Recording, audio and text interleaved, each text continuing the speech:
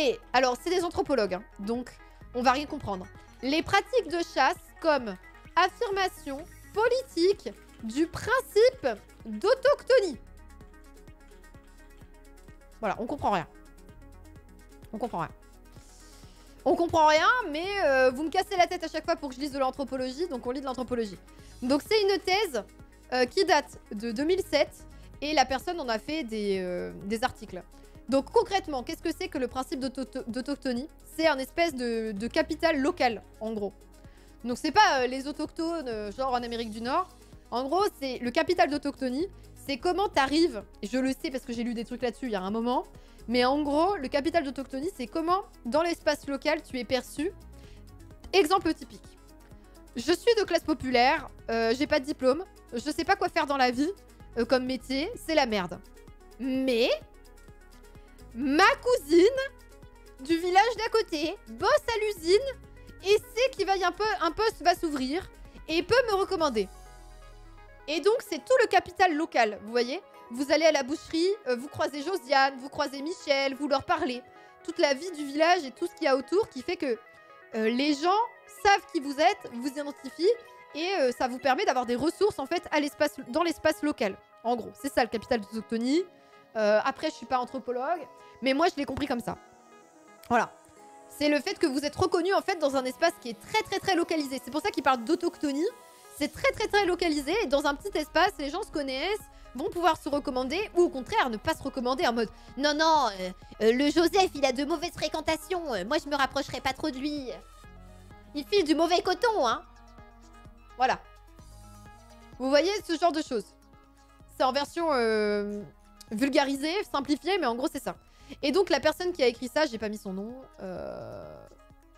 scandale vous pouvez me, bannir bah en fait, non, c'est pas juste du réseau social parce que c'est lié à la localité. C'est quelque chose qui existe en zone rurale qui va exister de manière différente ailleurs. Qui va pas exister de la même manière.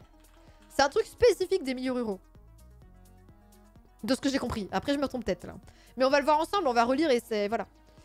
Ça me fait penser dans la rubrique masculinité toxique en milieu rural. J'ai un oncle qui a été incarcéré il y a un mois pour tentative de meurtre avec préméditation. Il a tiré sur le, le mari de sa maîtresse. Mais non. C'est chaud.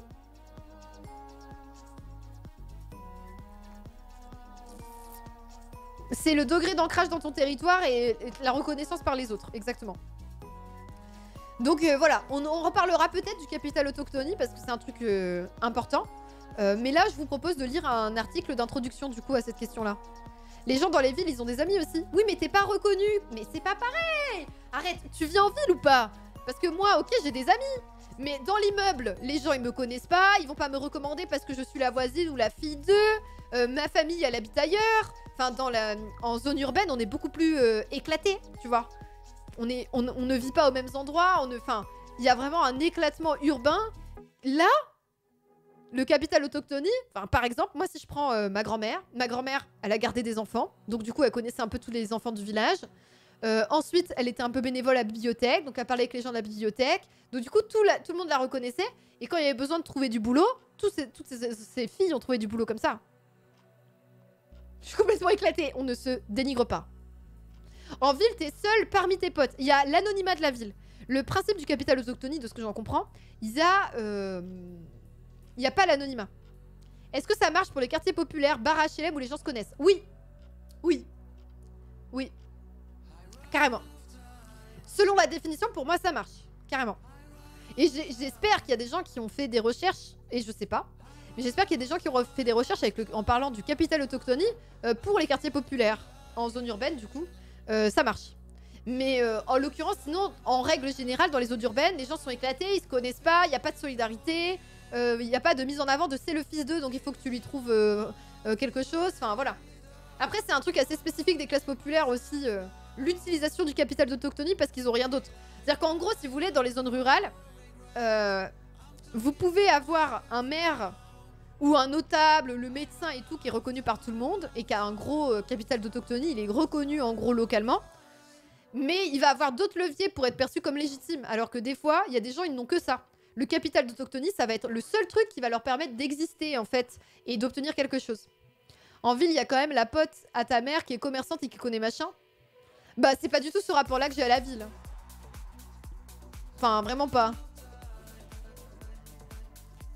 Mais genre, vraiment pas. Là, tu parles de réseau, quoi, plus. C'est pas la même chose, hein.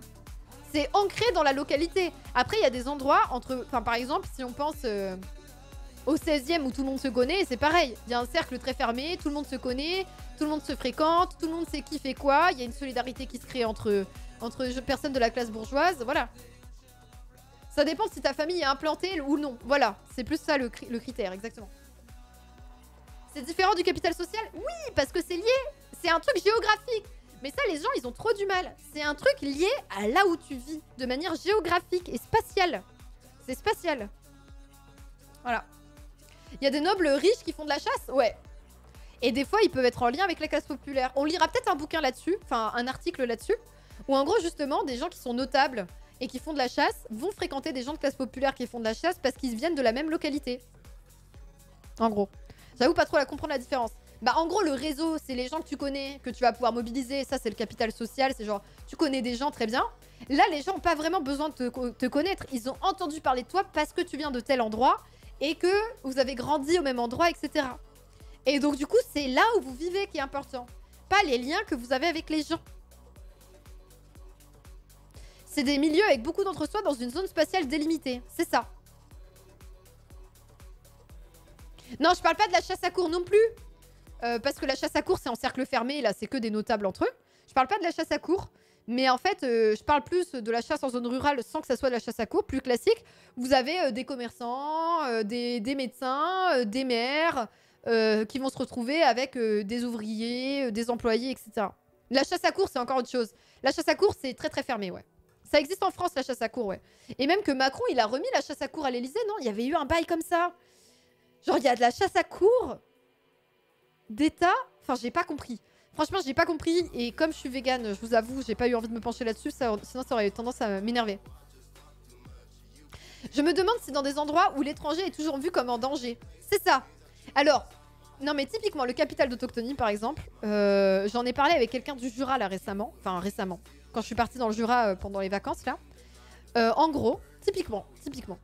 C'est quelqu'un qui vit dans le Jura depuis 10 ans, peut-être quelque chose comme ça, qui vient de Lyon à la base et qui vit dans le Jura depuis 10 ans.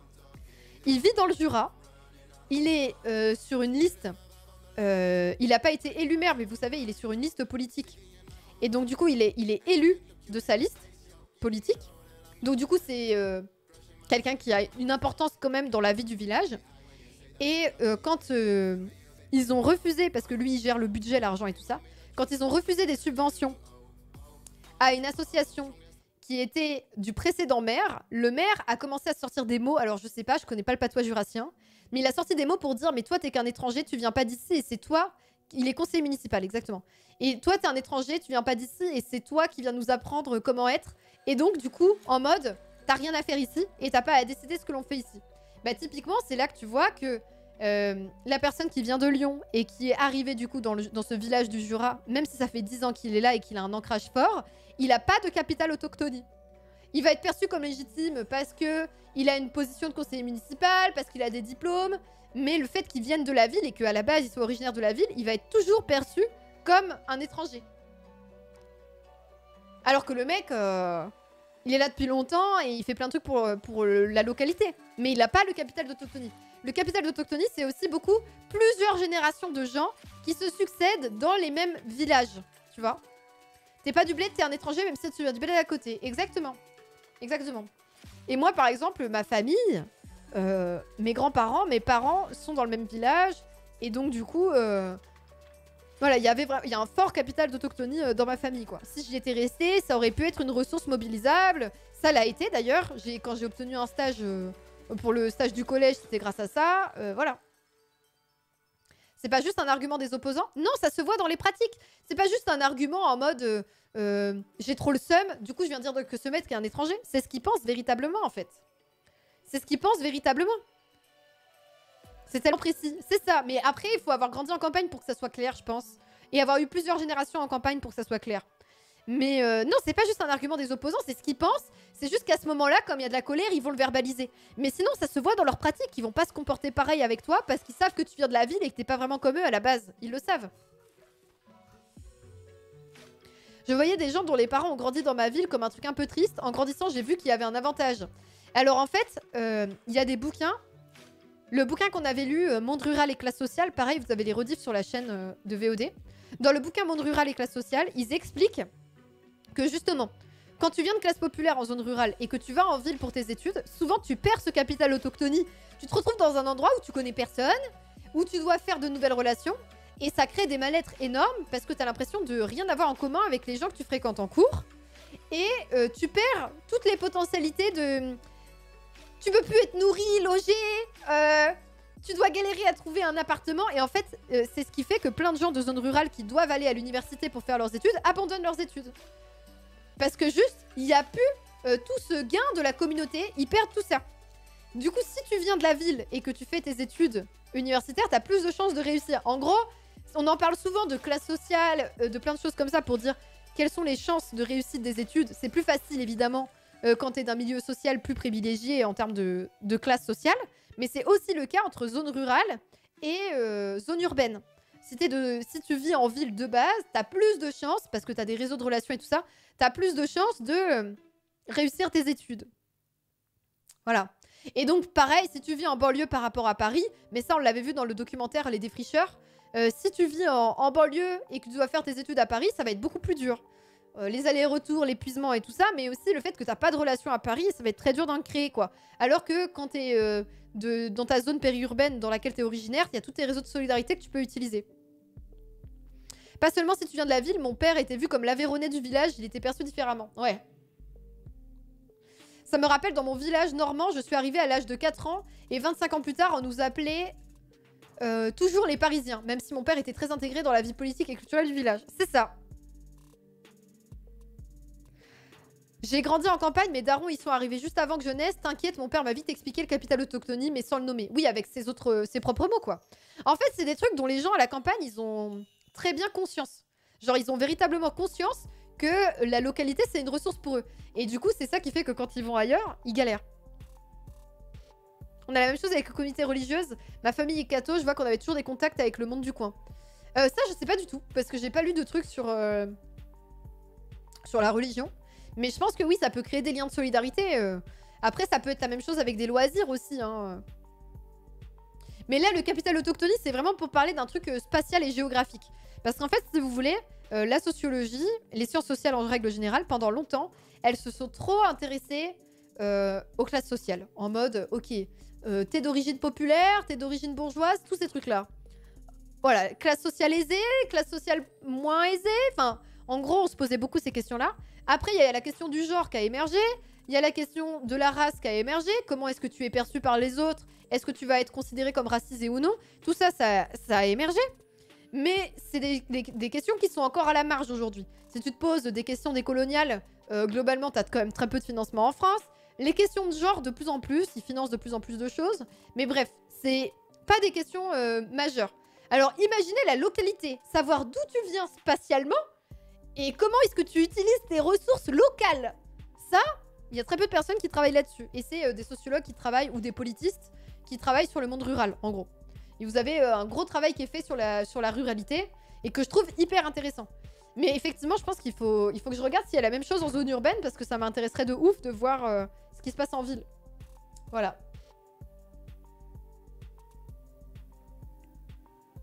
La communauté religieuse, c'est une communauté... Comme une autre. Bah, après, tu peux être pratiquant et n'avoir euh, aucun lien avec qui que ce soit si tu te déplaces pas ou quoi que ce soit. Enfin bref. Voilà.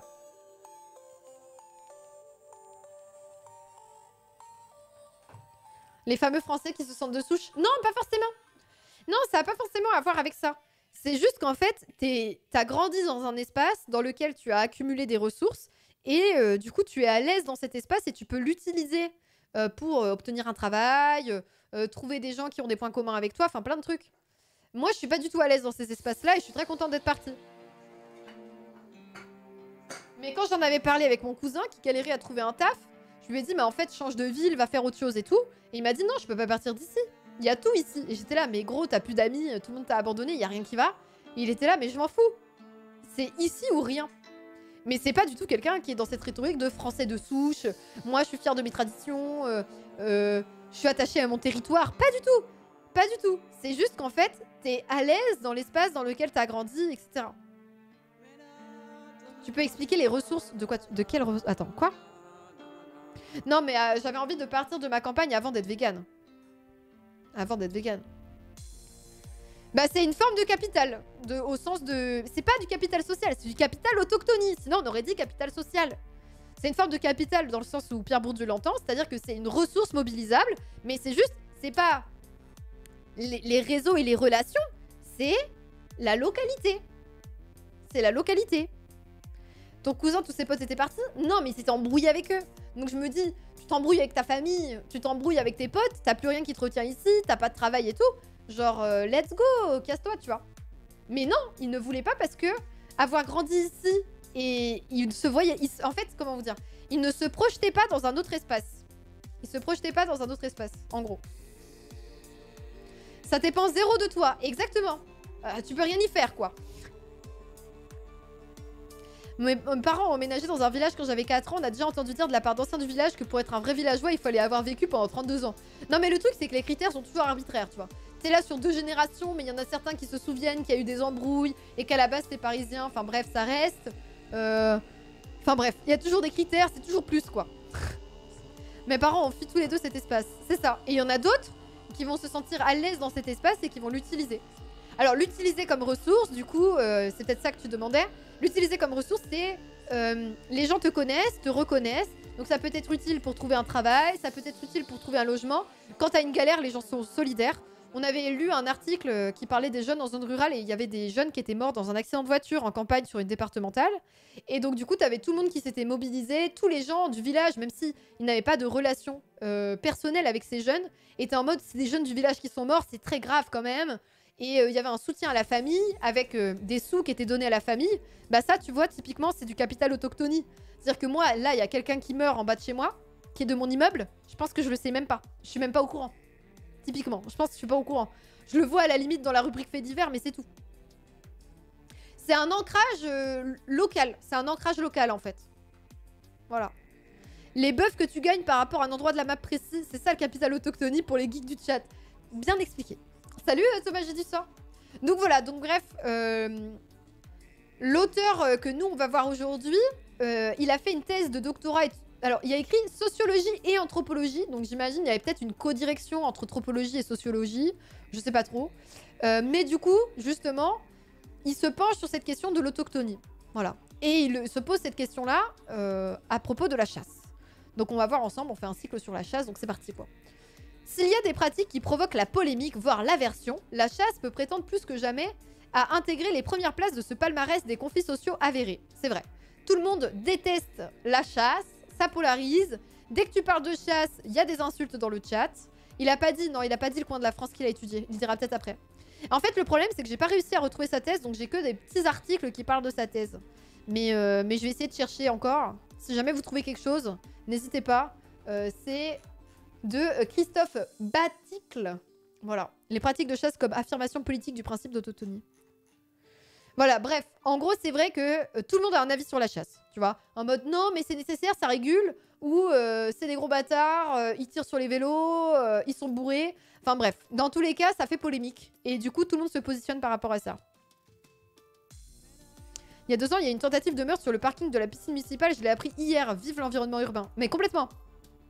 Complètement. Et puis surtout, c'est pas quelqu'un que tu connais, donc tu vas pas avoir d'attachement. Alors que quand t'es dans, dans un, lieu où il y a vraiment ce capital autochthonie, si tu veux, euh, bah typiquement, en vrai, euh, les cités euh, de classe populaire en zone urbaine et tout ça, ça marche. Si quelqu'un de la barre d'immeuble décède, c'est le fils de machin ou l'ami de truc, ils jouent ensemble au foot dehors, machin, ils vont à l'école ensemble. Donc les gens le savent. Les gens le savent. Et bref, et en zone, euh, en zone rurale, je vous dis, un accident de la route avec un jeune de 18 ans, par exemple, qui est mort dans un fossé, euh, tout le monde va le savoir, euh, tout le monde va être attristé pour la famille, parce que la famille, c'est quelqu'un que tu connais, sa mère est caissière, tu la vois au Leclerc, son cousin, il était au collège avec toi, enfin bref. Voilà, tout le monde est un peu concerné, ou en tout cas, même s'ils n'ont pas de relation directe avec la personne, ils se sentent concernés, ils se sentent solidaires, quoi. Les embrouilles autour de la chasse, on pourrait appeler ça le point Roussel. Toujours des embrouilles à partir de la chasse, ouais. Donc euh, certains, donc les chasseurs, vont avancer que c'est une passion. Et c'est une partie prenante de leur existence. De l'autre côté, il y a une détestation du côté des plus virulents de... Euh, oui, une détestation, genre c'est tout, ok. Euh, la quête synégétique, donc synégétique c'est la chasse, hein, c'est le autre mot pour dire la chasse. La quête de la chasse laisse peu de monde indifférent, alors qu'il semble bien que ce soit peut-être encore davantage les chasseurs que la chasse elle-même qui fassent l'objet du problème. Et ça c'est un vrai problème. C'est-à-dire que moi par exemple, ce qui fait que j'ai choisi ce sujet-là, très important, c'est parce que ça m'énerve euh, que on fasse du mépris envers les chasseurs, on attaque euh, des individus, euh, des personnes qui prennent tarif, alors que le problème, il est avant tout sur la pratique. Moi, en tant que personne, en tout cas euh, vegan, antispéciste, ce qui me pose problème, c'est la pratique de la chasse. Je, je comprends pas comment ça peut encore exister, je suis pas d'accord avec le fait que ça existe. Par contre, c'est pas pour autant que je vais mépriser les chasseurs avec ce truc de bande d'écolos, gna gna gna gna gna gna. Je comprends pas ta remarque, Thomas du sort, mais ok. Je me rappelle encore tes derniers propos, la violence des termes. Quel propos? Je sais plus. Ouais, il faut un permis pour chasser. Il faut le permis de chasse, ouais. Après, par contre, d'un point de vue structurel, on peut se poser des questions sur qui sont les chasseurs. Ça, c'est vrai. C'est majoritairement des hommes qui ont tendance à être assez virilistes. On peut, se poser ces questions-là. Ça, euh, aucun problème. Mais juste, en général, c'est euh, euh, des vieux mecs, alcoolos, enfin, tout le mépris qu'il peut y avoir aussi autour des pratiques... comment on appelle ça? Ah oui, il faut... Ah ouais. Je viens de penser à autre chose. Autour des pratiques de consommation, enfin bref. C'est un cliché. C'est des clichés qui sont mis en avant constamment. Tu déconnes ou quoi? Il y a des femmes aussi. Alors, je viens d'une famille de chasseurs. Je viens d'une famille de chasseurs. Euh, j'ai fait des entretiens sociologiques avec des chasseurs. Euh, je leur ai posé la question de la chasse. Pour les femmes, globalement, ils ont rigolé. Voilà. Donc oui, il y a des femmes. Euh, c'est comme... Enfin, bien sûr, il y a des femmes. Super. Ça reste minoritaire. Et quand tu regardes la fédération et quand tu regardes les composantes des associations de chasse, il n'y a pas beaucoup de femmes. Par contre, il y a toute une com, et ça on peut en parler, toute une communication du marketing qui est fait par la chasse, par les lobbyismes, le lobbyisme de la chasse, qui mettent en avant des femmes dans leur publicité. Et donc ça, c'est un truc qui arrive aujourd'hui en France. Mais euh, quand j'étais en 2013 euh, au Canada, il y avait pas plein de pages d'influenceuses chasse, chasse, en disant euh, ces femmes féministes qui savent, qui sont des guerrières, qui prennent en main leur vie. bref, vous avez des influenceuses chasse, donc littéralement des meufs, souvent mineures, 16-17 ans, qui se prennent en photo avec des cadavres d'animaux, qui vont chasser et qui se mettent en avant et euh, qui sont mises en avant aussi euh, dans la communication et les représentations qui sont faites par les assauts de chasse. Voilà. Et donc, euh, moi, j'ai vu ça en 2013 en Amérique du Nord, et en France, c'est en train d'arriver. Et donc, du coup, tout le monde est là, genre, ah, ça, c'est enfin des femmes comme on les aime, voilà, elles partagent nos passions et tout. Alors qu'en vérité, la chasse, ça reste quand même un loisir avec un entre-soi masculin très fort.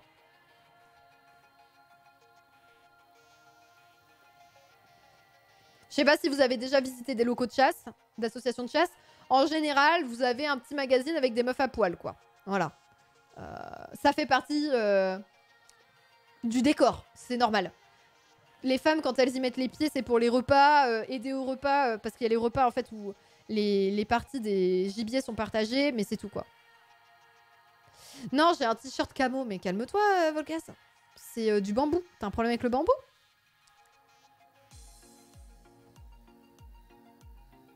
Le calendrier des meufs à poil des années 80. Exactement. Voilà. La chasse, c'est quelque chose qui est normal, jamais questionné, en dehors des 0,1% des tweets de gauche. Je suis absolument pas d'accord avec ça. Pour euh, déjà, quand tu parles de la chasse à des gens en ville, ils sont en mode cette pratique barbare existe encore la campagne. Et quand tu parles de la chasse en campagne, euh, la quasi-totalité des gens sont en mode euh, t'as vraiment genre c'est des trucs que je dis à la louche, mais t'as 70% des gens qui sont en mode c'est trop chiant, on peut pas promener les chiens, on peut pas se balader, on a peur pour notre vie euh, parce qu'il y a des chasseurs. Et tu vas avoir les 30% restants qui sont soit chasseurs, soit issus de familles de chasseurs qui vont dire Ah oui, mais ça aide quand même à réguler la population euh, de, euh, de sangliers, tu vois. Mais globalement, la majorité des gens aujourd'hui, c'est pour ça que ça fait autant polémique. Enfin, tu peux pas dire que la chasse est quelque chose de normal et de jamais questionné, alors que le début du texte, et on est dans une période qui est de 2007, dit la chasse, ça fait polémique. Et donc, du coup, t'as des détracteurs et t'as des gens passionnés, mais t'as les deux. Et tout le monde euh, pose un avis sur la chasse, tu vois. C'est un truc, quand même, qui polarise énormément. Comme la corrida. La chasse et la corrida, ça fait partie des pratiques qui sont euh, beaucoup questionnées et où on sait pas exactement à quoi on va arriver. D'un point de vue politique, par contre, les politiciens et politiciennes ne veulent pas se mettre à dos les chasseurs. Et ça, c'est vrai que, du coup, il n'y a rien qui est fait contre la chasse aujourd'hui d'un point de vue politique. Par contre, d'un point de vue social, mais c'est là que tu vois qu'il y a un écart. La population peut être majoritairement contre la chasse, ou en tout cas pas favorable à la chasse, sans pour autant que ça change les lois. Voilà.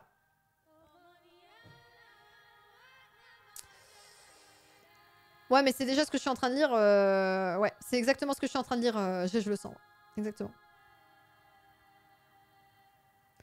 Tout le monde a un avis sur la chasse, mais personne ne remet en question l'existence même de la chasse. Mais tu sors ça d'où, en fait? Il y a plein de gens qui disent Je comprends pas que ça existe encore aujourd'hui, c'est un truc barbare, et qui sont pas du tout, euh, pas du tout de gauche, en l'occurrence.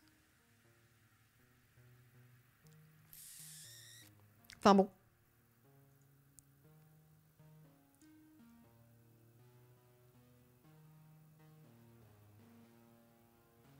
Non mais l'IFOP, euh, c'est un peu de la merde 67,2% des chasseurs sont citadins selon l'IFOP. Mais euh, c'est... Enfin... Les sondages, les gens, ça ne, ça ne dit rien, les sondages. Des pratiques des gens. Enfin, c'est de la merde, les sondages. Ça a aucune valeur scientifique. C'est... Euh, voilà. Déjà, en plus, en pleine campagne présidentielle, on voit bien que les sondages, ça marche pas, quoi. Ne vous inquiétez pas, Macron va être élu, c'est couru d'avance. c'est de la merde. Enfin, on se base sur pas grand-chose, quoi. Alors, attendez, je vais mettre ça de côté, j'ai pas de place. Euh, j'ai noté le truc que je voulais, c'est bon. Donc, euh, l'intérêt des sens sociales quant à cette pratique, donc la chasse, pose la question de la manière dont nos sociétés sont de plus en plus régulièrement amenées à renégocier ce débat sur l'administration de la mort à l'égard des animaux. Donc c'est un débat qui est régulier.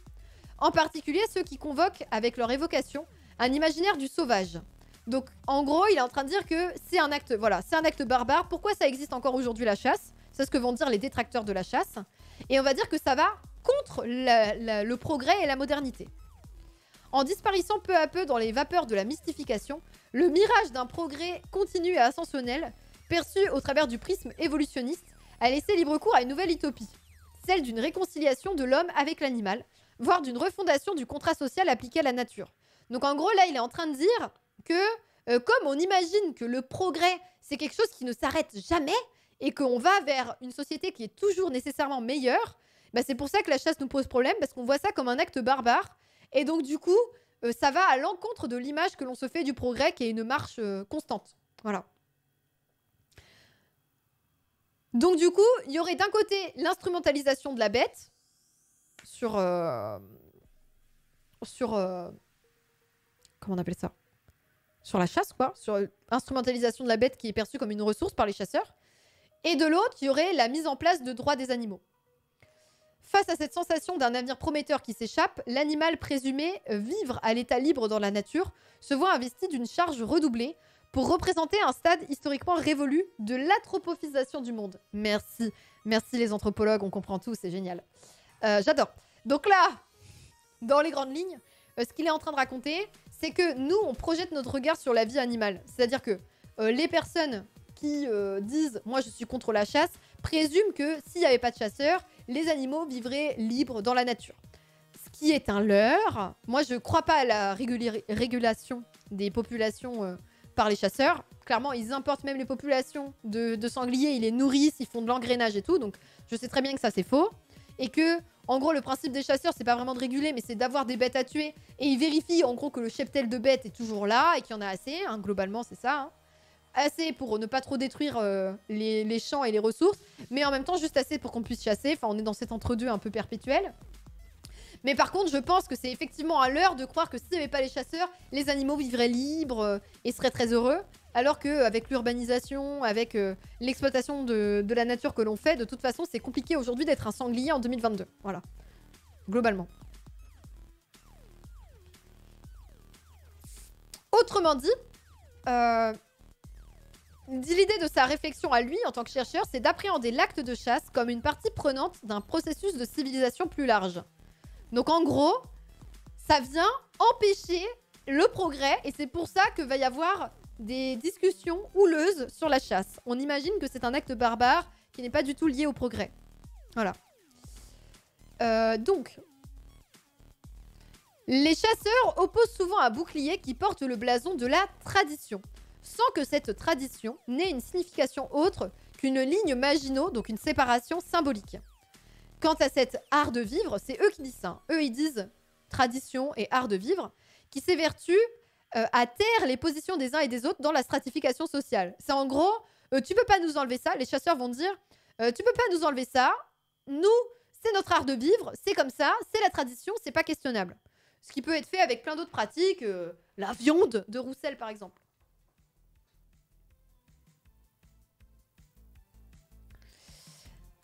Je suis un sanglier et effectivement, c'est compliqué. Merci beaucoup pour ton témoignage. C'est important. Les animaux vivraient libres et égaux en droit. Bah en fait, si tu fais pas un travail pour ça, c'est sûr que c'est mort. N'a d'ailleurs pas de chiffres sur la régulation, la régulation de la population des animaux chassés. Bah en fait, je sais pas parce que euh, tous les trucs cinégétiques, ils, ont des stats, mais est-ce qu'ils les partagent? Parce que moi, je sais qu'il y en a qui ont des stats. Hein. Ils vérifient les populations de sangliers. Hein. Il y a des gens qui, sont, qui comptent et tout. Hein. Euh, de sangliers, euh, de biches, euh, de tout ce que vous voulez, de faisans, enfin tout. Mais, qu'est-ce qu'ils en font concrètement? Je pense pas que ce soit quelque chose qui soit diffusé. Hein. Je pense qu'ils font vraiment du lobbyisme et qu'ils cachent ces informations au maximum. Hein. C'est quelque chose qui est très opaque en fait. Comment fonctionnent les assauts synergétiques et tout ça sur la chasse là. Aux États-Unis, le Texas a une infestation de sangliers avec des hordes car l'État avait payé des sociétés pour maintenir les populations de sangliers pour la chasse, comme elles étaient payées au nombre de sangliers introduits. Ah bah elles en ont mis plein Et du coup maintenant c'est ingérable. D'accord. Ouais. L'alcoolisme n'est pas reconnu pour la même raison. Exactement. Pour le lobbyisme. Et du coup c'est beaucoup... C'est très compliqué parce que je dis, oh la tradition française... Euh, non non. Puis ça fait vivre des gens, c'est... Voilà. C'est de la thune aussi.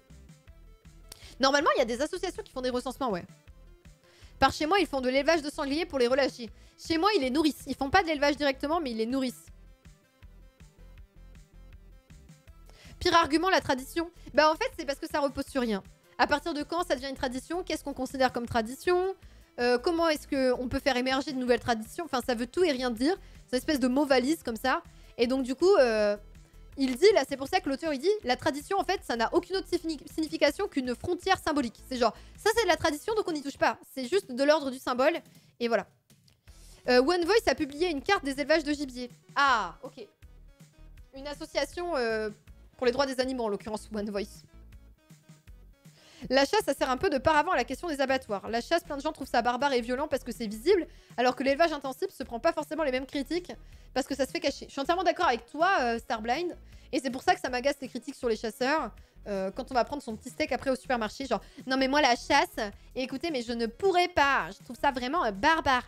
Par contre, l'animal qui a été écartelé, là, aucun problème. J'achète le steak, je ne vois pas la mort, aucun souci c'est un gros problème, quoi. C'est genre, euh, vraiment, si c'est la mort de l'animal qui te pose problème, euh, pourquoi certaines te posent problème et pas d'autres? Pourquoi dans certaines conditions ça te pose problème et pas d'autres? Ça, ça m'agace un petit peu. Après, il y a l'autre truc de, justement, j'ai l'impression que les chasseurs, c'est un moyen de leur taper dessus, quoi. Tu vois, c'est parce que c'est des gens qui sont facilement méprisables. C'est beaucoup d'hommes en zone rurale, de classe populaire. On va dire, oh, c'est des beaufs, c'est les beaufs. Donc voilà, donc c'est un peu facile de leur taper dessus. Non, tradition, ça veut rien dire, on est d'accord. Salut Shaden, salut Carfal. Donc du coup, voilà. Euh, juste pour moi, il faut être une question de cohérence, quoi. Euh, si vous faites chier les chasseurs, faites chier les industriels de la viande. C'est tout, quoi. Après, vous faites ce que vous voulez, mais bon, c'est quand même mieux. Terrible. Tu es gratos pour le plaisir. Mais est-ce que tu sais s'il tue pour le plaisir? C'est ça le truc, en fait. C'est-à-dire que le problème, c'est que... Euh, le problème, en fait, c'est les représentations qu'on a de la chasse. Tu vois? Qui sont les chasseurs concrètement et quelles sont leurs pratiques En vrai, on sait pas. À part euh, les accidents de chasse que l'on voit passer. Est-ce qu'ils tuent pour le plaisir ou est-ce qu'ils tuent par ressources? Enfin, tu vois C'est compliqué. Il y a plusieurs, à l'intérieur des chasseurs, t'as plusieurs profils aussi. T'en as pour qui c'est un loisir et un sport, effectivement. T'en as d'autres qui viennent de classes populaires en zone rurale, comme le cas de mon de mon grand-père, tu vois, où pour lui, c'était une question de bah, la viande, ça coûte cher. Du coup, on a toujours tué des animaux pour manger. Et donc, ça fait partie du mode de vie. Et t'envisages pas de faire autrement, tu vois. C'est quelque chose qui fait partie, euh, bah voilà, la tradition ou l'art de vivre, quoi. Ça fait partie de comment tu fonctionnes. Et donc, du coup, c'est des ressources pour toi. L'animal n'est qu'une ressource. Voilà. Donc, ça dépend, en fait, des chasseurs. Il y a des réserves naturelles gérées par les chasseurs et publient des chiffres. Ah Salut Victoire Aimée, salut à tous et toutes celles qui arrivent. Mais oui, bien sûr, après, il y en a certains qui feront vraiment ça comme une pratique sportive, euh, qui peuvent chasser à l'arc d'ailleurs, etc. Ouais.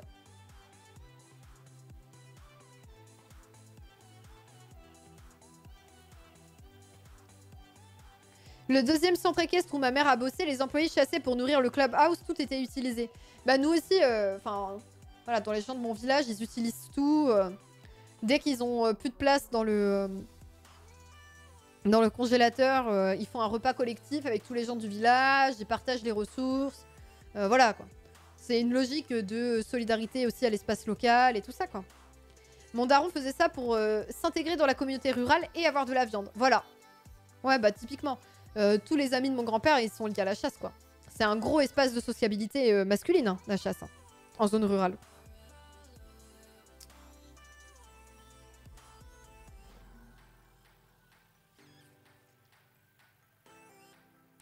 Un problème de vérité toxique un peu, j'ai l'impression, le côté je domine la nature. Ça, peut-être, mais moi, j'ai rien qui me permette de le mesurer. Tu vois ce que je veux dire? Genre, euh, quand t'as dit ça les, fait, ça les excite que de tuer, moi, j'ai rien qui le mesure. J'ai rien qui le mesure. C'est-à-dire que comment tu mesures que la personne prend du kiff en le faisant? Il faut mener une enquête, aller voir dans leur pratique.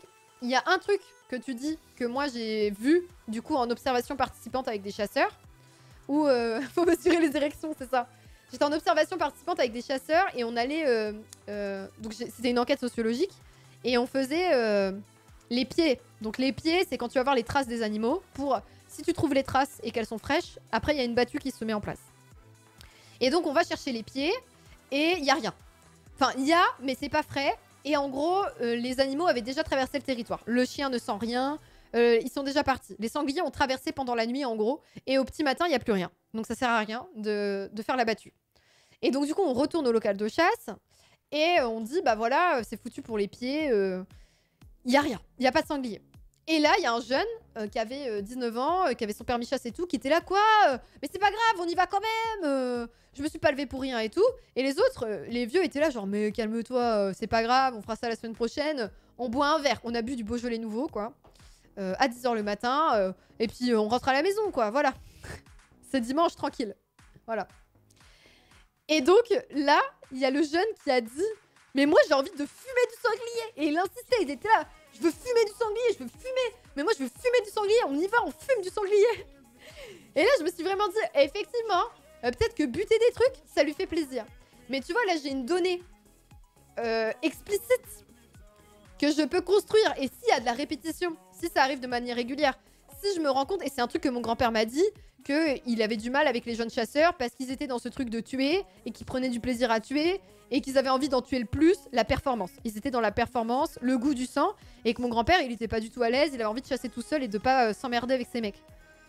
Donc en fait, c'est possible que peut-être qu'il y a une classe d'âge plus récente, qui a un autre rapport à la chasse, parce que eux, ils ont les supermarchés, donc ils ont pas besoin de, de viande, et donc ils sont dans un rapport beaucoup plus brutal et beaucoup plus viriliste aussi à la chasse, c'est possible. Mais du coup, pour pouvoir mesurer ça, il faut faire des enquêtes, il faut vérifier la répétition, il faut vérifier comment ça advient et tout ça. Et après, c'est possible qu'il y ait des personnes qui évoluent avec le temps, ouais. C'est ça. Qu'au début, quand ils arrivent à la chasse, ils sont en mode putain, buter des trucs, euh, je suis frustré, euh, je vais buter des trucs. Et puis après, ça se calme. C'est possible. Après, euh, si on part du principe que la chasse, il y a un rapport très performance et virilisme, il y a le cas dans plein de sports. Après, je suis d'accord que c'est un problème même dans le sport, au-delà de la chasse. Déjà, c'est un problème de voir la chasse comme un sport. Et ensuite, c'est peut-être un problème que ça, ça soit le cas, cette performance et cette virilité et, ce truc euh, d'écraser les autres dans le sport. Ça, je suis d'accord. Il faudrait avoir des sociologues et les payer pour savoir ça, c'est chaud. Mais c'est pour ça que j'essaie de trouver des enquêtes sur la chasse, là. Je trouve ça trop intéressant. Alors oui, il y a quelqu'un qui disait pourquoi la pêche, euh, ça soulève moins de foule. Alors là, c'est la militante antispéciste en moi. Mais en fait, euh, la chasse, on tue beaucoup de mammifères, tu vois. Alors, il y a des oiseaux aussi, hein, euh, mais puis la chasse à la glu, par exemple, ça va, choquer, les gens vont trouver ça barbare et tout. Mais globalement, la chasse, c'est souvent des mammifères qu'on va tuer, alors qu'un poisson, euh, on l'entend pas quand il souffre, comme dit la conquête du pain, et on s'identifie moins. On trouve ça moins mignon, un poisson. Donc du coup, euh, forcément, ça pose des problèmes. Et donc j'avais vu une conférence sur la surpêche, et le fait qu'aujourd'hui, bah, quand on fait de la pêche, on a des énormes filets comme ça, et en fait, on prend tout, toutes les espèces sont prises dedans. Il y a des tortues aussi qui se retrouvent au milieu, tous les poissons. On veut par exemple qu'un type de poisson, mais finalement tous se retrouvent pris et après ils sont jetés. Et donc les poissons euh, en bas des filets meurent écrasés sous le poids des autres. Mais c'est des pratiques qui sont atroces et complètement barbares. Mais ça pose pas de problème aux gens parce que les poissons, on ne sait pas, on ne s'y intéresse pas, euh, c'est éloigné de nous. Plus c'est éloigné de nous, plus on va avoir du mal aussi à, se mettre à la place. Voilà, exactement. On se sent plus proche d'un truc à quatre pattes. Exactement. Il y a encore plein de gens qui pensent que les poissons ressentent pas la douleur. Aussi, voilà, exactement. Oui, oui, là, je parle de la vraie pêche. Euh, la pêche loisir, c'est encore autre chose, bien sûr. Donc, bref, voilà. Et donc, euh, donc c'est intéressant tout ça de voir à quoi les gens s'identifient aussi, tu vois. Donc, euh, donc bon. Mais je pense que ce qui fait que la chasse choque, c'est qu'on s'en prend à des animaux qu'on peut trouver mignons aussi, tu vois. Une biche, c'est magnifique. Enfin, c'est trop beau, quoi. le, petit, cerf, là, On a l'impression que la pêche, c'est moins violent aussi, oui, je pense, ouais. ouais. C'est plus passif aussi, c'est vrai. Le fusil... En vrai, je pense que le fusil, euh, c'est impressionnant. C'est impressionnant. Les sangliers sont de culture chrétienne, ils roulent dans nos voitures. ça me fume. Pitié de Bambi, voilà, c'est ça. Mais euh, avec Nemo, les gens pourraient s'identifier aux poissons quand même, mais bon. Ça cause moins d'accidents aussi, c'est vrai. Le filet est moins vu comme une arme, la canne à pêche aussi, c'est moins vu comme une arme euh, que, euh, que, le, que, le fusil. Mais en même temps, le fusil, c'est une arme, donc je vais pas venir... Si demain, il y a un mec qui m'agresse dans la rue, j'ai un gun, la situation peut être plus facilement réglée que si j'avais ma canne à pêche. Je fais quoi, là? Je la lance comme ça et j'essaye de lui harponner la bouche. Enfin, c'est dead. C'est dead. Donc bon, forcément, forcément, ça polarise plus, quoi. Je peux essayer, hein, mais euh, les accidents de pêche, ils ont moins d'impact, c'est ça? T'es là, tu sais, tu fais comme ça avec ta canne à pêche et t'as l'hameçon qui se plante comme ça dans un vélo derrière. Il faut quand même pouvoir le faire, quoi. C'est compliqué. Tu lui proposes une petite partie de pêche, tu l'étrangles avec le filet de pêche. Horrible, horrible. Euh, donc... Hmm, j'aime pas du tout comment écrit ce chercheur. Je sais pas qui est cette personne. Je suis désolée, Christophe. Mais Christophe, il écrit Nous avons cherché à passer discrètement derrière ce rideau bien pensant. Mais en fait, nique ta mère. Nique ta mère. Genre, vraiment.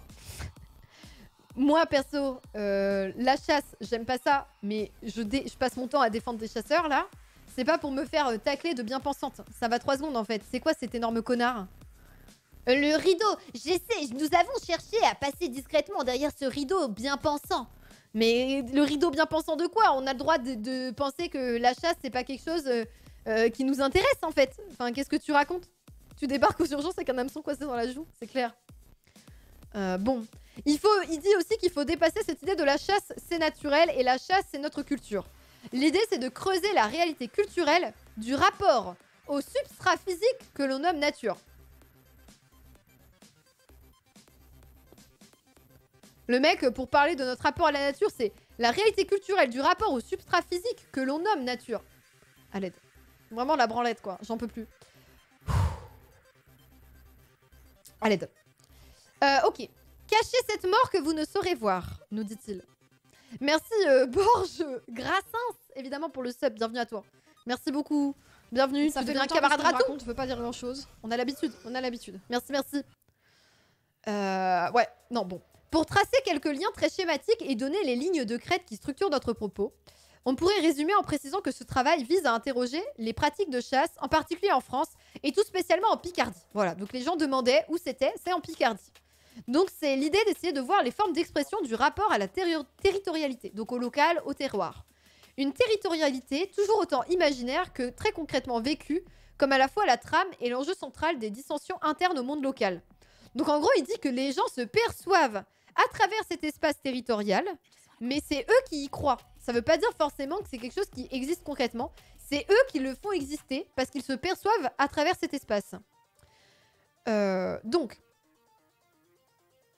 ce que chassent les Nemrod. Mais qu'est-ce que tu racontes? Ça veut dire quoi, Nemrod? Non, mais faut que je vous lise la phrase et vraiment, ça donne envie de tout casser. Ce que chassent les Nemrod ne se réduit ainsi pas à ce qui remplit la gibecière, mais au-delà, c'est le caractère giboyeux lui-même qui sert de révélateur des modes de gestion du terroir, donc de la place qui occupe les chasseurs. Non mais vraiment. Il prend même pas le temps de définir, il en a rien à battre, je le hais. Donc le Nemrod, c'est un homme qui aime beaucoup la chasse et qui est un habile chasseur. Donc ce bâtard, au lieu de dire ce que les chasseurs font, il dit ce que chassent les Nemrod. J'ai vraiment envie de lui péter la gueule. C'est horrible en fait. Pourquoi t'écris comme ça? C'est même pas être précis là. Tu peux dire chasseur, on comprend que tu parles de chasseur. Donc, ce que chassent les chasseurs ne se réduit pas à ce qui remplit la gibecière. Donc c'est le sac dans lequel on met euh, le gibier. Mais ça va au-delà du caractère giboyeux. Donc le caractère giboyeux, riche en gibier. Ça va plus loin que le caractère riche en gibier. On veut voir les modes de gestion du terroir et la place qui occupe les chasseurs. Donc en gros, l'idée c'est de voir comment les chasseurs gèrent leur territoire et quelles sont leurs places Ça fait sur longtemps ce que ce que je territoire. raconte, veut pas dire grand chose. On a l'habitude. On a l'habitude.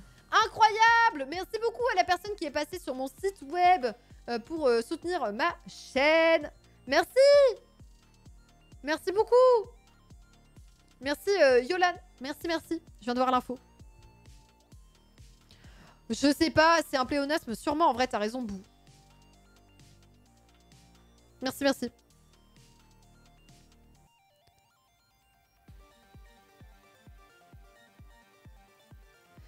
En baie de Somme, ça déconne pas là-dessus. En géo, on avait fait une interview avec un prof de lycée du coin. Il nous a sorti qu'en période de chasse, t'avais la moitié des élèves qui étaient pas loin. Il n'y avait pas intérêt à critiquer la chasse. Oui, parce qu'il chasse. Ouais, ouais. Il a eu de un doctorat Bah, je pense qu'il parle juste comme ça. euh. Il y a des gens, ils prennent l'habitude de parler comme ça. Heureusement que je m'en sors. Je sais même pas par quel miracle. On va chercher sur internet en même temps. hein. Non seulement la densité de fusils n'est pas inversement proportionnelle à la faune recherchée, mais qui plus est, la surveillance de tous par tous induit des formes d'autolimitation qui témoignent d'une contrainte sociale endogène, faisant de chacun le viandard de son voisin. Donc là, en gros, il est en train de dire qu'il y a des concurrences en fait entre territoires, donc là en Picardie, et que, euh, ben, en fait, ça c'est des trucs que vivent les chasseurs. Donc là, je vous disais, nous, quand on avait fait l'observation de la battue, enfin du début de la battue, le euh, gibier avait euh, traversé le terroir, le territoire, pardon, le territoire. Le gibier avait traversé le territoire, il était parti dans un autre village. Donc du coup, là, il y a des zones de concurrence en mode putain, c'est les autres qui ont le gibier, euh, c'est toujours eux qui les ont, machin et tout. Donc du coup, tu fais attention euh, à, ce que font les autres. Et donc c'est ce qu'il va dire, il dit, il y a une forme d'autolimitation et une contrainte sociale. En gros, tu vérifies les pratiques des autres. Et il y a beaucoup de critiques des associations de chasse, des autres associations, euh, des voisins. En mode, mais lui, euh, eux, ils ont chassé beaucoup trop, ils ont prélevé. Ils appellent ça prélever. hein. Attendez, ce n'est pas tuer. Euphémisme, c'est prélever. Donc ils ont prélevé plus que ce qu'ils avaient le droit de le faire, ils l'ont caché, machin. Donc c'est pour ça qu'il dit chacun devient le viandard de son voisin. Le mec, ça vite un Scrabble, de ouf. C'est vraiment horrible. L'ambiguïté du rapport à la mort transparaît dans le tableau de chasse, qui est tout à la fois totalement central et totalement secondaire. Oui, parce que c'est important de, c'est important de tuer des trucs, mais en même temps, euh, si tu tues pas, c'est pas grave, tu peux continuer ta pratique quand même. C'est peut-être ça qu'il veut dire. Hmm.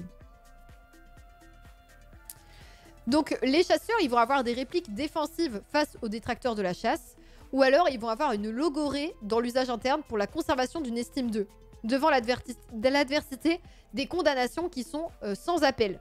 Donc, soit ils vont se défendre, soit ils vont avoir tendance à eux-mêmes avoir une sorte de fierté et d'estime et avoir un discours euh, permettant de renforcer aussi leurs pratiques.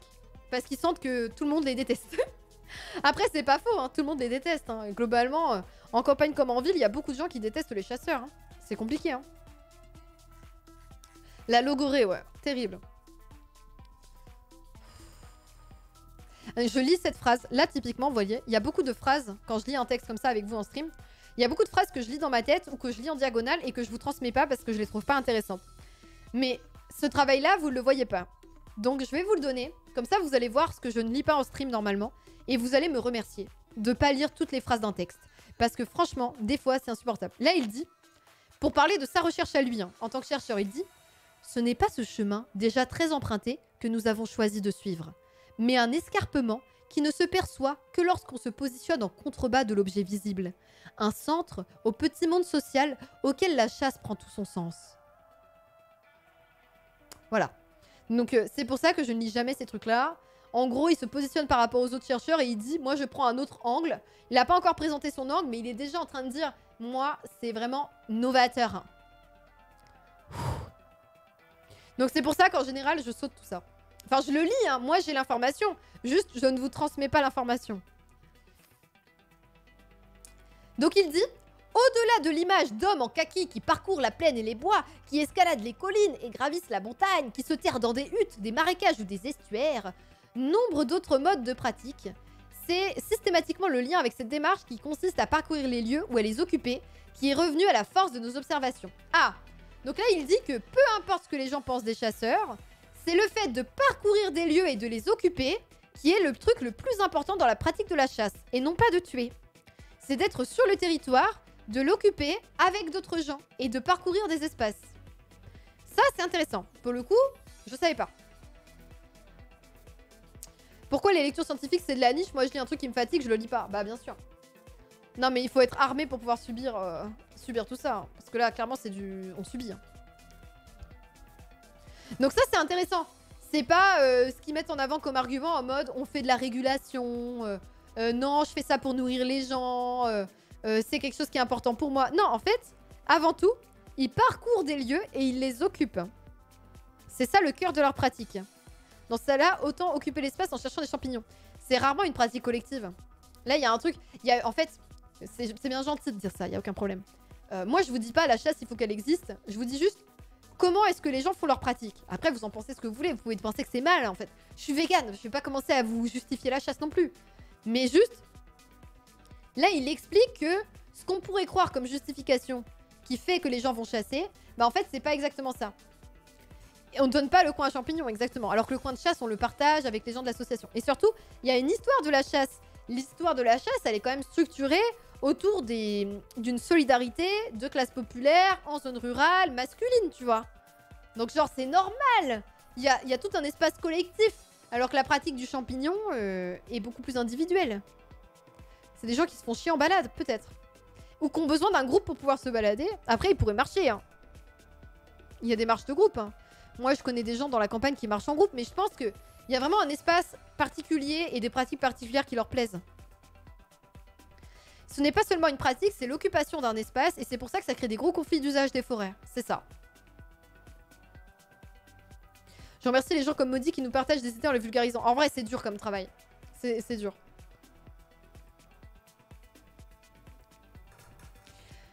Euh, alors,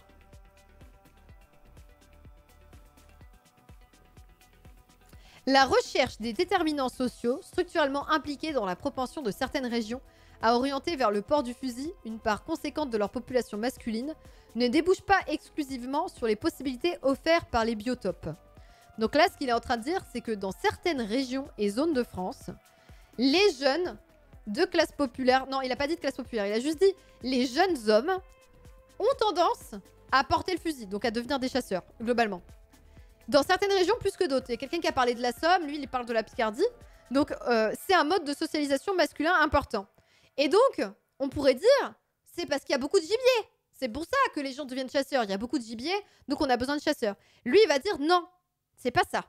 Il y a des déterminants sociaux structurels, lesquels on ne sait pas encore. Il a dit biotope, j'ai franchi. Mais en gros, c'est ça. C'est de dire, bah, il y a beaucoup de gibier, ça veut dire que les gens vont chasser Non, pas forcément. Si l'histoire des relations locales à la, nature se trouve nécessairement impliquée, c'est également le statut du territoire qui est posé comme une reconnaissance primordiale. Donc ça veut dire que c'est des populations qui sont les plus en marge, qui ne tirent pas de bénéfices de la globalisation, qui vont du coup reterritorialiser leur vie. Ça c'est hyper intéressant. Donc c'est des gens qui n'ont pas de contrôle euh, sur la globalisation des ressources, de nos vies. Enfin, après, en règle générale, hein, tout est un peu globalisé aujourd'hui. Du coup, ils vont relocaliser leurs pratiques. C'est ouf ça. C'est des populations qui sont en marge des bénéfices de la globalisation.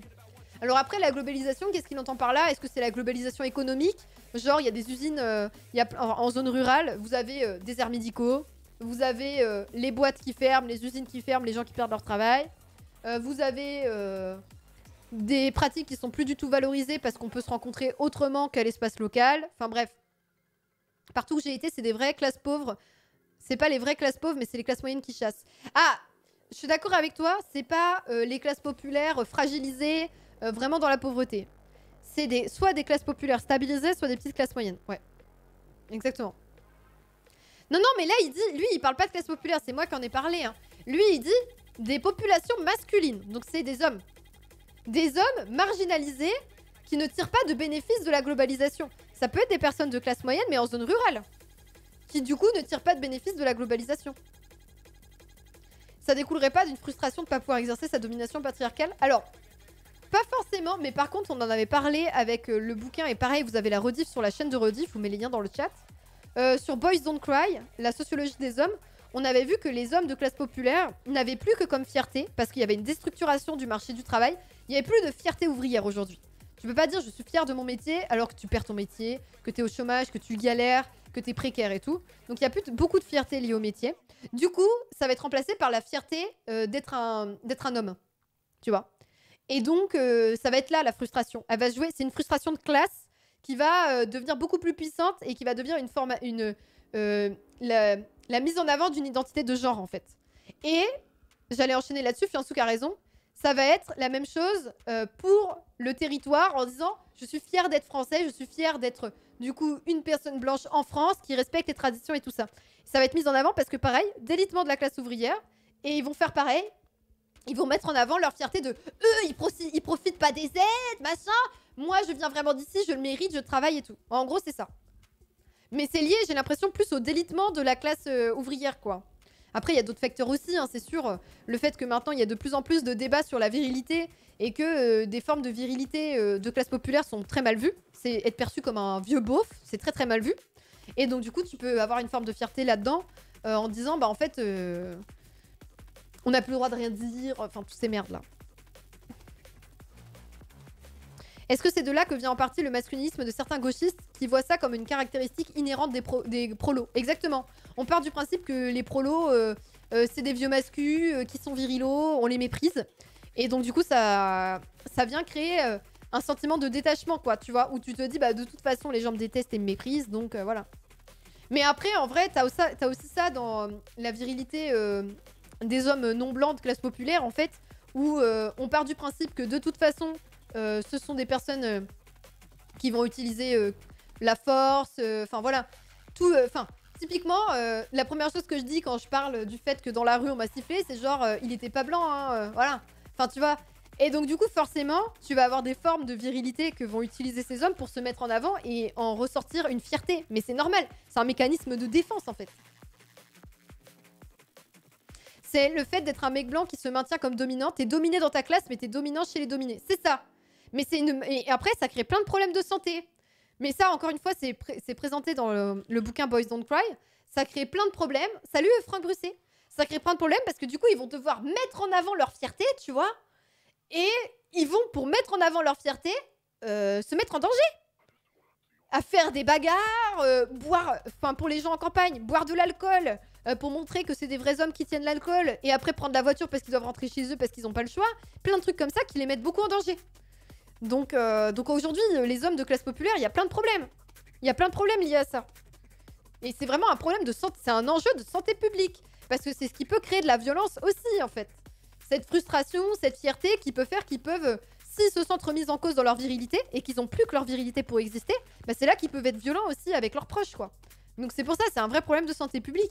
Et euh, si on se pense pas sur cette question-là, on réglera pas la question des féminicides, euh, des violences conjugales, euh, des personnes qui meurent sur leur lieu de travail.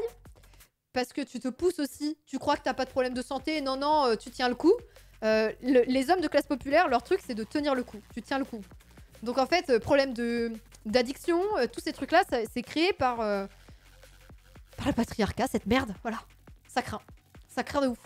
Donc c'est pour ça que à chaque fois ça me fait bien rire quand on est en mode non mais on règle les problèmes de classe sociale et le reste disparaîtra. Bah non en fait parce que c'est aussi beaucoup lié à des pratiques masculines. Enfin, il faut vraiment il y a une imbrication de tous ces trucs là.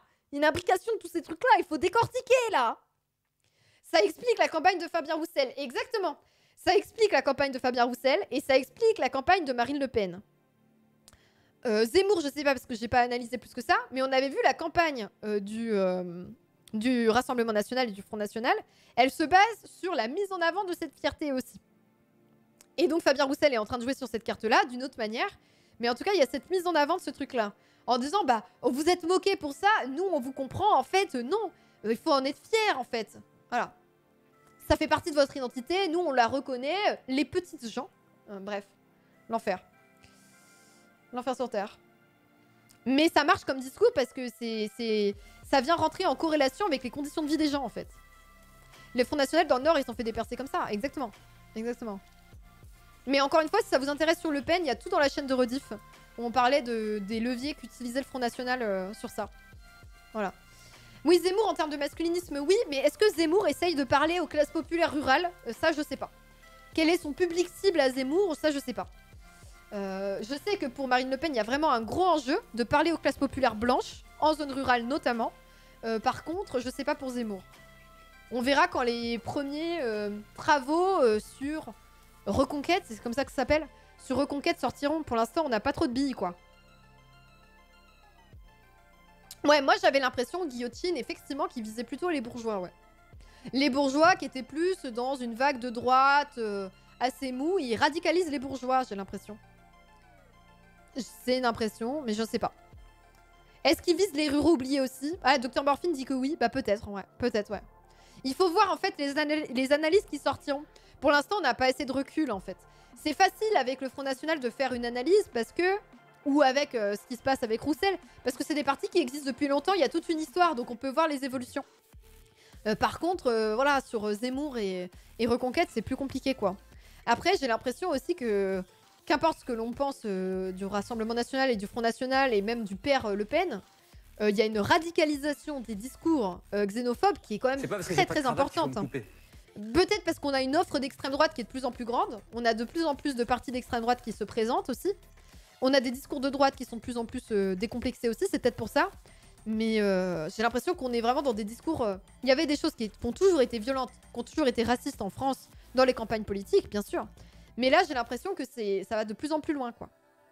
Merci Jill Kibir pour les 4 mois de soutien. Merci beaucoup. Merci, merci. Notamment, j'ai l'impression que ça va plus loin parce qu'il y a un plus grand traitement médiatique. Parce que euh, au début, Jean-Marie Le Pen n'était pas forcément tout le temps invité sur les plateaux ou tourné en ridicule. Il servait de petit épouvantail docile, là. Ce qui a posé de gros problèmes et qui a participé à sa banalisation. Mais bref. Alors qu'aujourd'hui, euh, Zemmour, il est vraiment, vraiment invité partout. Tout le monde se retrouve à débattre contre lui Enfin, c'est particulier quand même quand tu vois qu'il y a eu le débat euh, Valérie Pécresse-Zemmour. Jadot, Zemmour. Euh, pourquoi Zemmour est la constante? Pourquoi Zemmour est la constante en fait? Genre, what the fuck? Pourquoi on n'a pas euh, un débat Jadot-Pécresse Mélenchon-Jadot Mélenchon-Pécresse Ça, c'est particulier quoi. C'est le seul à proposer directement le débat. C'est possible. Mais ça reste que les gens l'acceptent. Pourquoi est-ce qu'ils l'acceptent? Il génère du clic et de l'audience. Exactement. Ouais, grosse audience, ouais. Clairement. Parce que c'est un référentiel dans la radicalité réactionnaire Zemmour maintenant. C'est ça. Ouais, ouais. Diversification d'extrême droite. Exactement. On n'a même pas Poutou Macron. La dernière fois que j'ai regardé les détails des sondages, l'électorat de Marine Le Pen, c'était soit ouvrier, chômeur, patron, alors que Zemmour, c'était le reste. En vrai, c'est possible, c'est carrément possible, mais les sondages, je me base pas trop dessus parce que ça veut tout et rien dire. C'est n'importe quoi les pratiques de sondage, il a pas grand-chose. Franchement, c'est plus de la com politique qu'autre chose. Euh, c'est pas vraiment... Euh, ça n'a pas de valeur scientifique, c'est de la com, en fait. Du coup, euh, je pense qu'il faut qu'on attende. Il faut qu'on attende d'avoir les... Malheureusement, quoi.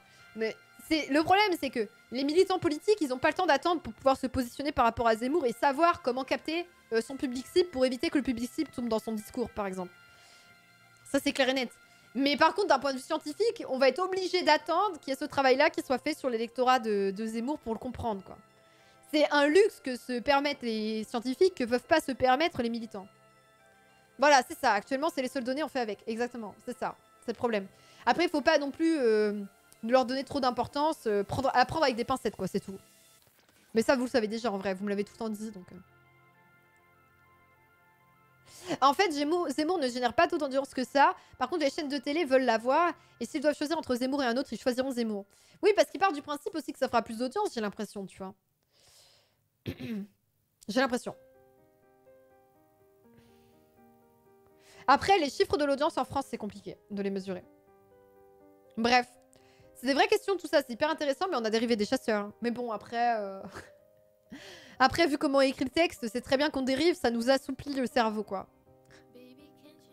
On parle souvent de Zemmour dans les médias parce que c'est un nouveau venu en politique. Bah, c'est pas vraiment un nouveau venu en politique, c'est quand même éditorialiste et tout. Hein. Et puis, il y a des nouveaux venus en politique dont on parle pas en vrai. Roussel, il est là depuis longtemps, c'était quelqu'un d'autre avant lui. Ah non, mais il y a eu scission en fait. écoutez, on va être calmé par la voix de Little Big Whale, écoutez. Et par la musique de PV Nova. Anas Kazib, on n'entend pas parler, c'est un nouveau en politique, ça veut rien dire, ouais. Il vend des livres, c'est un best-seller, il vend vraiment beaucoup. Euh, plusieurs centaines de milliers de ventes. oui, c'est pour ça, c'est pour ça aussi.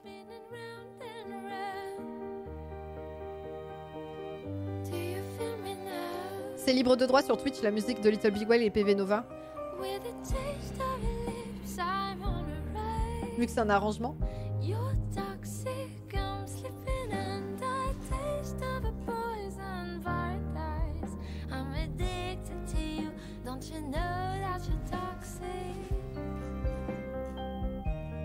Oui, oui, oui. Oui, il y a l'ingrédient Bolloré aussi, bien sûr. bien sûr. Son discours fait nouveau pour les médias. Zemmour? En vrai, je suis pas tant sûre de ça. Parce qu'il arrête pas de mettre en avant qu'il a, il dit des trucs à la télé depuis si longtemps. Il a toujours été constant et c'est le seul qui est constant. Alors que Marine Le Pen, elle a changé d'avis. Elle a retourné sa veste. Donc je sais pas.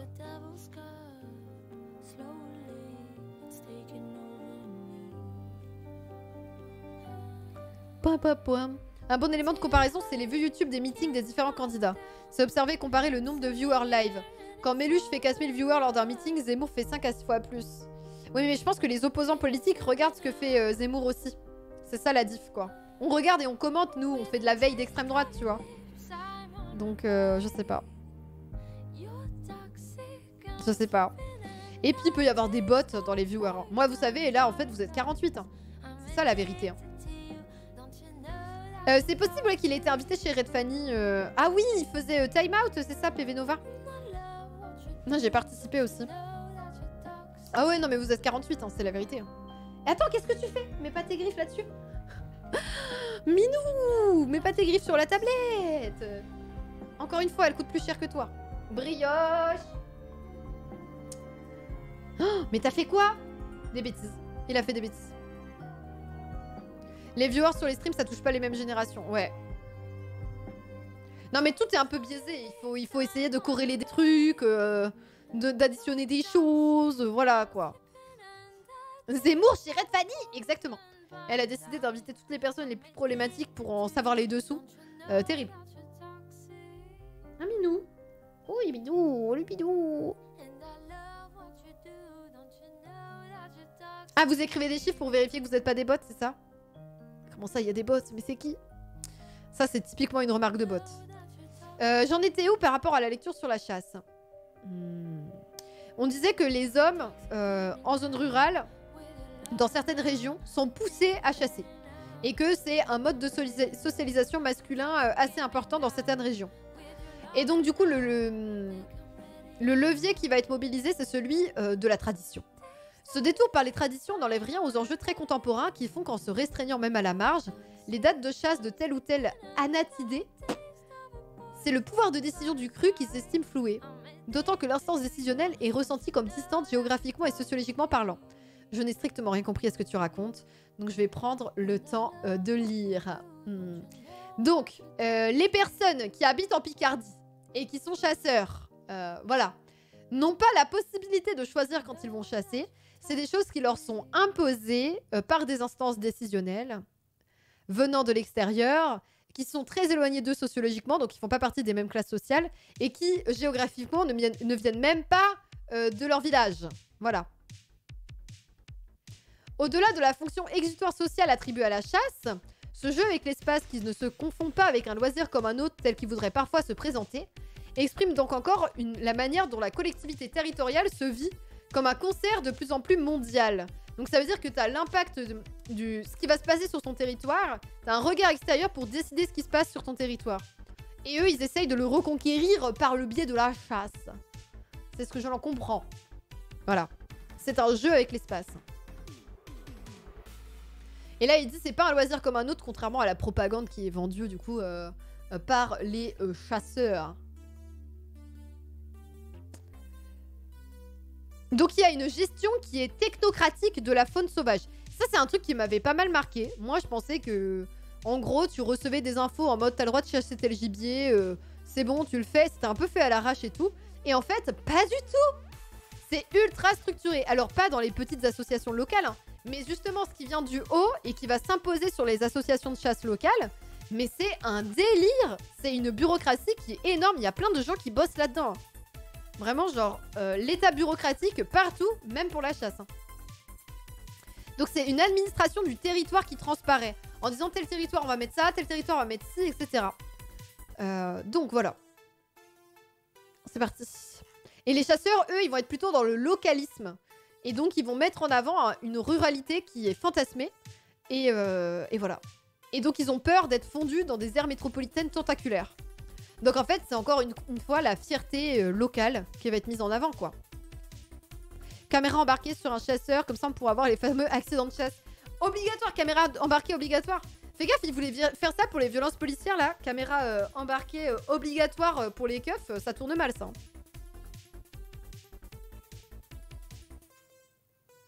Les arrangements avec les agriculteurs, ouais. Ouais, ouais.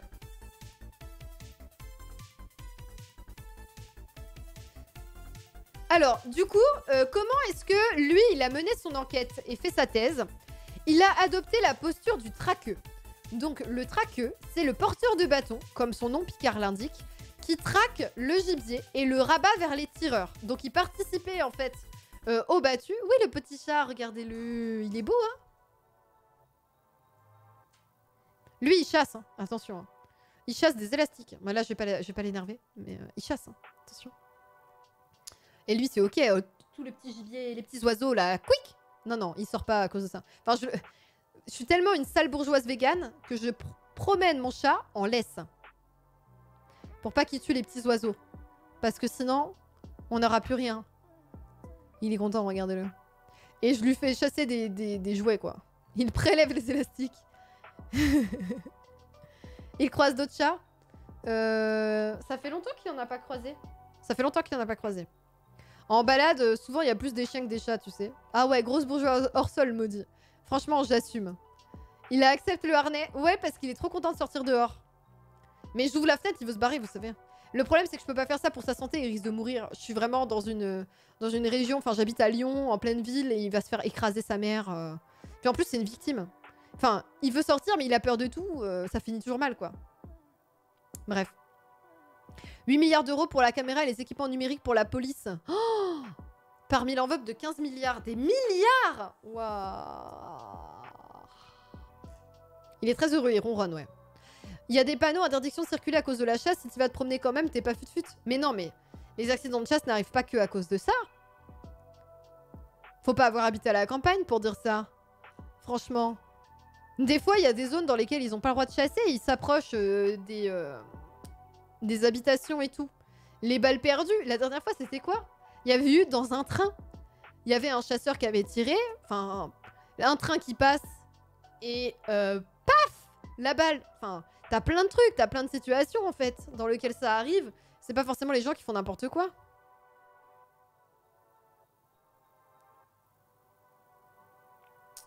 Je comprends, Hydrier. Après, euh, ça dépend le type de chat, tu vois. Ils peuvent très bien s'habituer et puis tu peux subvenir à leurs besoins même si euh, sortent pas librement. Regardez-le. Il est très heureux. Mais c'est vrai que ça me prend du temps de m'occuper de lui. Mais bon. Il mérite.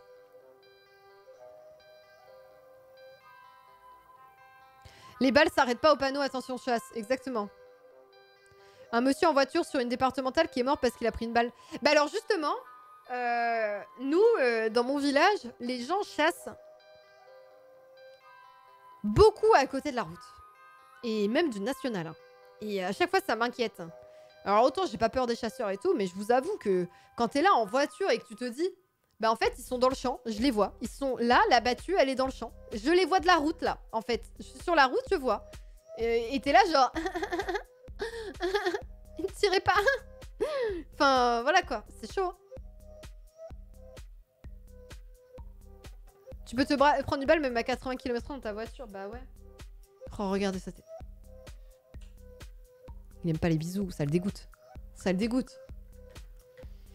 Alors, du coup, lui, euh, pour mener sa recherche sur la chasse, je vous disais, il est devenu le traqueux, un porteur de bâton qui, comme son nom Picard l'indique, traque le gibier et le rabat vers les tireurs. C'est un moyen de s'introduire dans le milieu de la chasse sans générer un soupçon.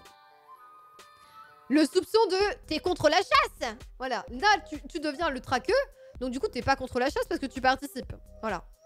Il est exact que la communauté de chasseurs se présente extérieurement comme très fermée. C'est d'abord en raison du syndrome obsinodidial qui la travaille. Mais franchement, ferme ta gueule, Christian. C'est pas possible de parler comme ça, en 2007. Obsignal, relatif au siège des villes. Ah Donc en gros, si la communauté des chasseurs est très fermée, c'est parce qu'elle a peur de se faire assiéger par des urbains qui voudraient la détruire. Voilà. Donc il y a une confrérie d'hommes de sang incompris de leurs contemporains. Ça, c'est ça, j'aime bien comme formulation. Les chasseurs, c'est en fait une confrérie d'hommes de sang qui viennent de leur territoire et qui sont incompris des contemporains, donc des hommes de leur âge qui vivent autour d'eux et qui vivent sur le territoire français. Eux sont des incompris. La confrérie d'hommes de sang incompris de leurs contemporains. Ça veut dire qu'ils ont une forte perception des intrus qui aboutit à une dichotomie manichéenne. Donc en gros, soit t'es leur allié, soit t'es leur adversaire. Il n'y a pas de juste milieu. Voilà. Ça, je trouve ça hyper intéressant sur comment les chasseurs perçoivent euh, les autres. Pour le coup. Il fait son malin avec ses mots. Par contre, effectivement, il est vraiment dans une partie de Scrabble. Mais, euh, mais ça, je sais pas ce que vous en pensez. Je trouve ça intéressant, en l'occurrence. Ça et l'occupation de l'espace. Alors, euh, je vais le noter.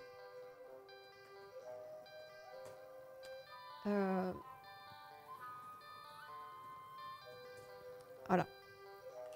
En revanche, la participation à l'action de chasse sans jugement de valeur concourt, à relativiser cette fermeture. Donc lui, il a réussi à participer sans avoir forcément de regard... Euh, voilà, il n'y a pas eu de problème, quoi. L'unité affichée par le monde de la chasse, ça fournit sans comparaison des dissensions exprimées entre sous-groupes de pratiquants. Attends, quoi? Ah, donc il dit qu'il y a deux choses à remettre en question. La fermeture, c'est pas si fermé que ça. Quand tu participes, ils arrivent à t'accueillir. Et il y a une autre chose qui est mise en avant. Les chasseurs mettent en avant dans leur propagande que eux, ils sont unis, alors qu'en fait, il y a plein de dissensions, il y a plein de sous-groupes à l'intérieur des chasseurs. Voilà. T'inquiète pas, il y en aura d'autres, il y aura des visionnages de documentaires euh, libres et sauvages.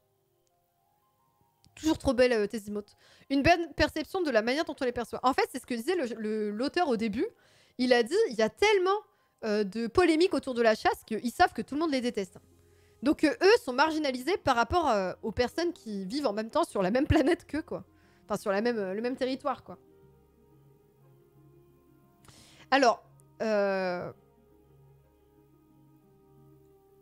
second avantage que fournit une telle ethnographie de la marche sur la longue période à travers plusieurs régions, donc lui, il a fait Picardie, Pyrénées et Normandie, c'est pour voir les différents modes de chasse, formuler des hypothèses par l'induction.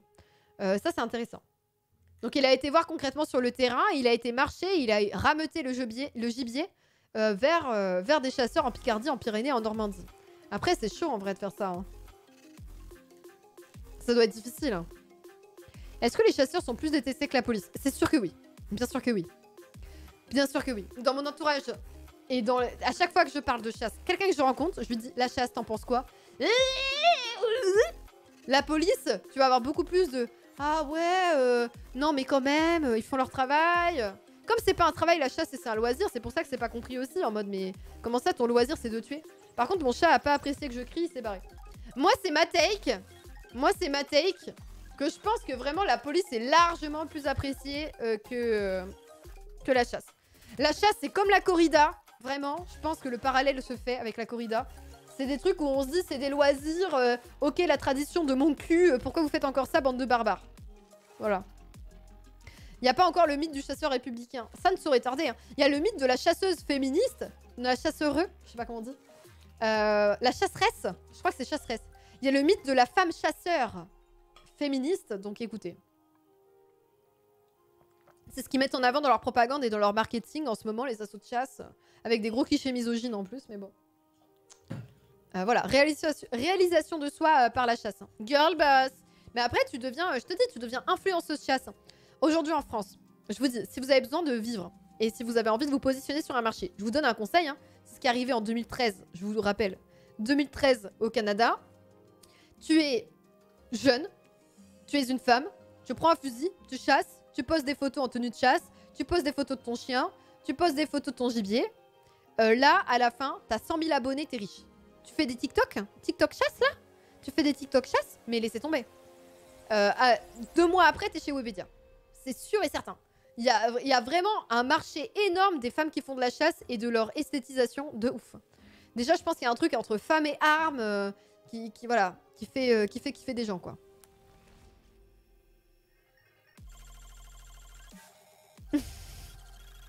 Artemis, oui.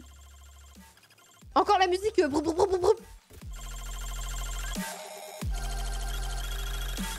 oh ouais, il y a eu pas mal de pubs pro-chasse. Mais je vous dis, hein, moi, euh, je voyais plein de gens au Québec et au Canada vivre de ça, hein, en étant influenceuse chasse. T'es invité à faire toute la foire au Bloudin et la une de Playboy. Bah ouais, mais quand t'as besoin de thunes, euh, voilà. Alors, ça ne marche que si t'es blanche, par contre. Je vais pas vous mentir.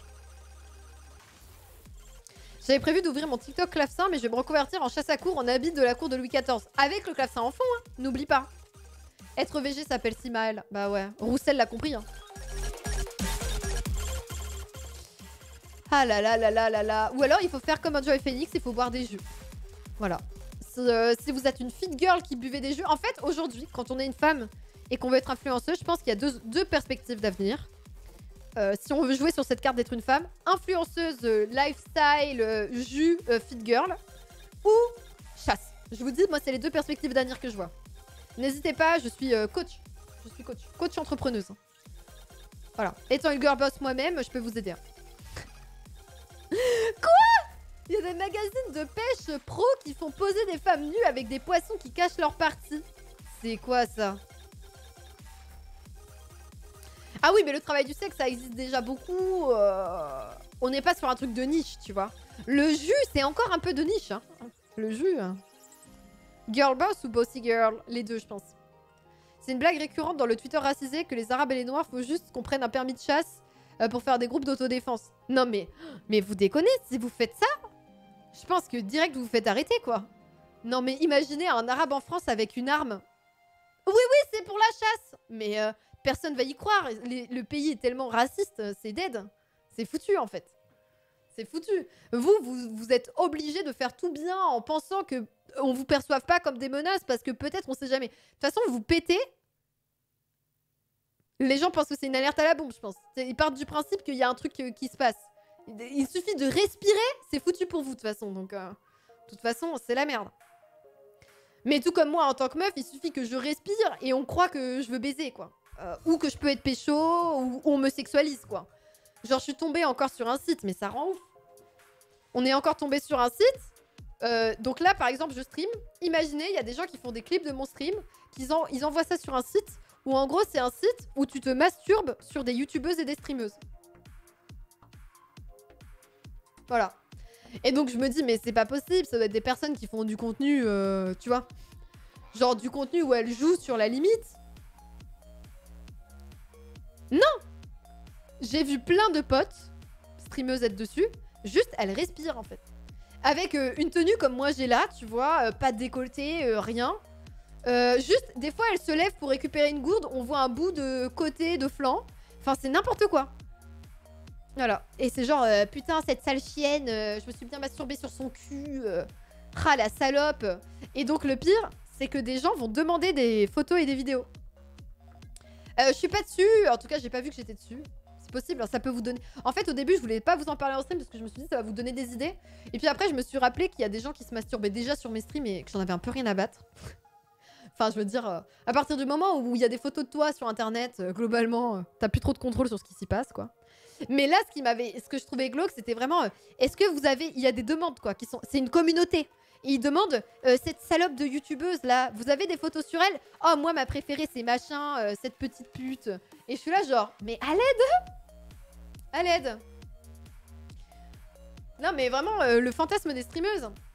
Le fantasme des streameuses. Mais alors c'est un gros problème. C'est-à-dire que moi j'ai entendu des gens qui disaient ça en blague, mais je savais que c'était pas des blagues.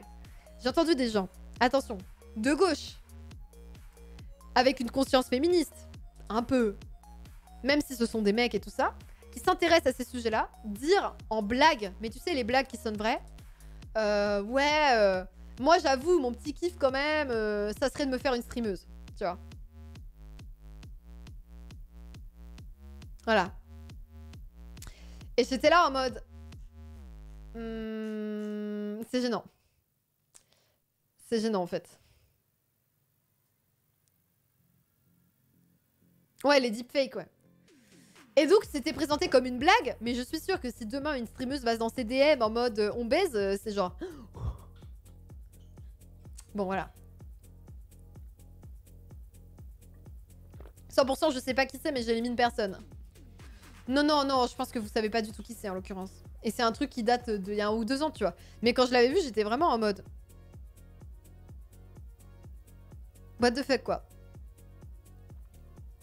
Ah ouais, non mais gerbe, c'est à vomir, à vomir. Bref, du coup, euh, je sais pas pourquoi on a commencé à parler de ça. Ah oui, bah du coup, voilà, euh, en fonction de comment est-ce qu'on est perçu, euh, on a un set de représentation qui est limité. Et même quand on fait tout bien en se disant, il m'arrivera rien, cette, cette, fois, je vais pas être... Enfin, je vais pas être perçu comme une menace. Cette fois, par exemple, si on est un homme racisé, ou nous, en tant que femme, on va se dire, cette fois, on va pas être sexualisé. Euh, même si on fait tout bien, en faisant super attention à notre comportement, comment on parle, comment on s'habille, comment on regarde les gens, euh, comment est-ce qu'on communique, tout, tout, tout. On fait tout pour pas envoyer de signaux qui font que les gens vont penser ça. Ça arrive quand même, quoi. Parce que ça fait partie des représentations que les gens ont en tête, ça fait partie des, des, préjugés, des prénotions. Et bref, c'est ce que les gens ont en tête quand ils nous voient. Ils voient avant tout une catégorie de personnes plutôt qu'une personne. Ils voient avant tout ce à quoi on ressemble avant de voir qui on est en tant que personne. Et c'est ce qui fait que de toute façon, euh, c'est ultra compliqué de se sortir de ça, quoi. On est avant tout une catégorie, quoi, avant d'être un individu, quoi. C'est très compliqué. Surtout dans un euh, système néolibéral euh, qui nous dit non mais vous êtes des individus libres. Ouais, tu parles. Mon cul, ouais. Mon cul Le fétichisme des streameuses, il faut une audience minimum pour les exciter. Alors, de ce que j'ai vu, non. moi, dans ce que j'ai vu, je vous ferai pas la promo du site, hein, mais de ce que j'ai vu, t'avais des streameuses à 20 viewers, tout comme t'avais des youtubeuses à plusieurs millions d'abonnés. T'avais de tout. Ah, vraiment, juste, t'es une meuf, tu mets ta tête sur internet, c'est parti quoi. Et après, il y a la même chose avec la voix. Hein. De toute façon, même si tu, on n'entend que ta voix et on met, tu mets pas ton visage, t'as des gens, il y a une espèce de mystère qui se crée en mode je suis sûre que t'es grave bonne. Enfin bref. Et du coup, même si tu montres pas ton visage, ils vont se pignoler sur ta voix. Hein. Même si t'es en train de parler de Elden Ring euh, et d'un truc qui n'a rien de sexuel. Hein. Ah, je parlais du gars dont t'as rapporté les propos. Je sais pas, je lui ai pas demandé, j'avoue. Euh, j'étais juste euh, en mode hmm, gênant. Je comprends euh, des gens qui disent cette streameuse, je l'aime trop, je crush un peu sur elle et tout. Mais le crush, tu vois, moi j'ai crushé sur des acteurs, sur des chanteurs, enfin, tu crushes sur des gens, mais qui sont très éloignés en mode putain, trop stylé cette personne, waouh. Mais tu vois, ça veut pas dire pour autant que tu vas te pignoler dessus en le racontant à tout l'internet mondial. Enfin, voilà, quoi. C'est pas pareil du tout. Enfin, ça a rien à voir, quoi. À l'aide. À l'aide. Et puis surtout, en fait, tu te sens un peu euh, dépossédé de ton contenu, quoi. Genre, ils en font ce qu'ils veulent. Euh. Voilà. Voilà. Après, moi, euh, te tripoter dessus, on n'a pas de prise sur ce qui se passe. C'est surtout le faire publiquement et diffuser ces ressources-là aux autres et nous insulter. Parce que c'est pas un truc mignon en mode putain, elle est trop mime, c'est tout. Non, non, non, c'est vraiment les commentaires, c'est cette salope, j'éjaculerai sur son visage. Enfin, c'est des trucs. T'es là, Il y a vraiment des trucs que j'ai lus. Là, je suis calme. Je suis soft. Hein. Il y a des trucs que j'ai lus. J'étais vraiment en mode. Parce qu'il y a des trucs sur le viol aussi. Enfin, ils sont vraiment dans une culture du viol qui est, euh, qui est horrible. Et t'es là, genre, tu fais juste ton stream. Tu vas te lever pour remplir ta gourde d'eau. Et euh, t'as des mecs qui vont dire Putain, j'aimerais trop la violer. euh, je suis sûre qu'elle kifferait ça. Des trucs horribles. C'est. Voilà, c'est- c'est immonde. C'est vraiment immonde.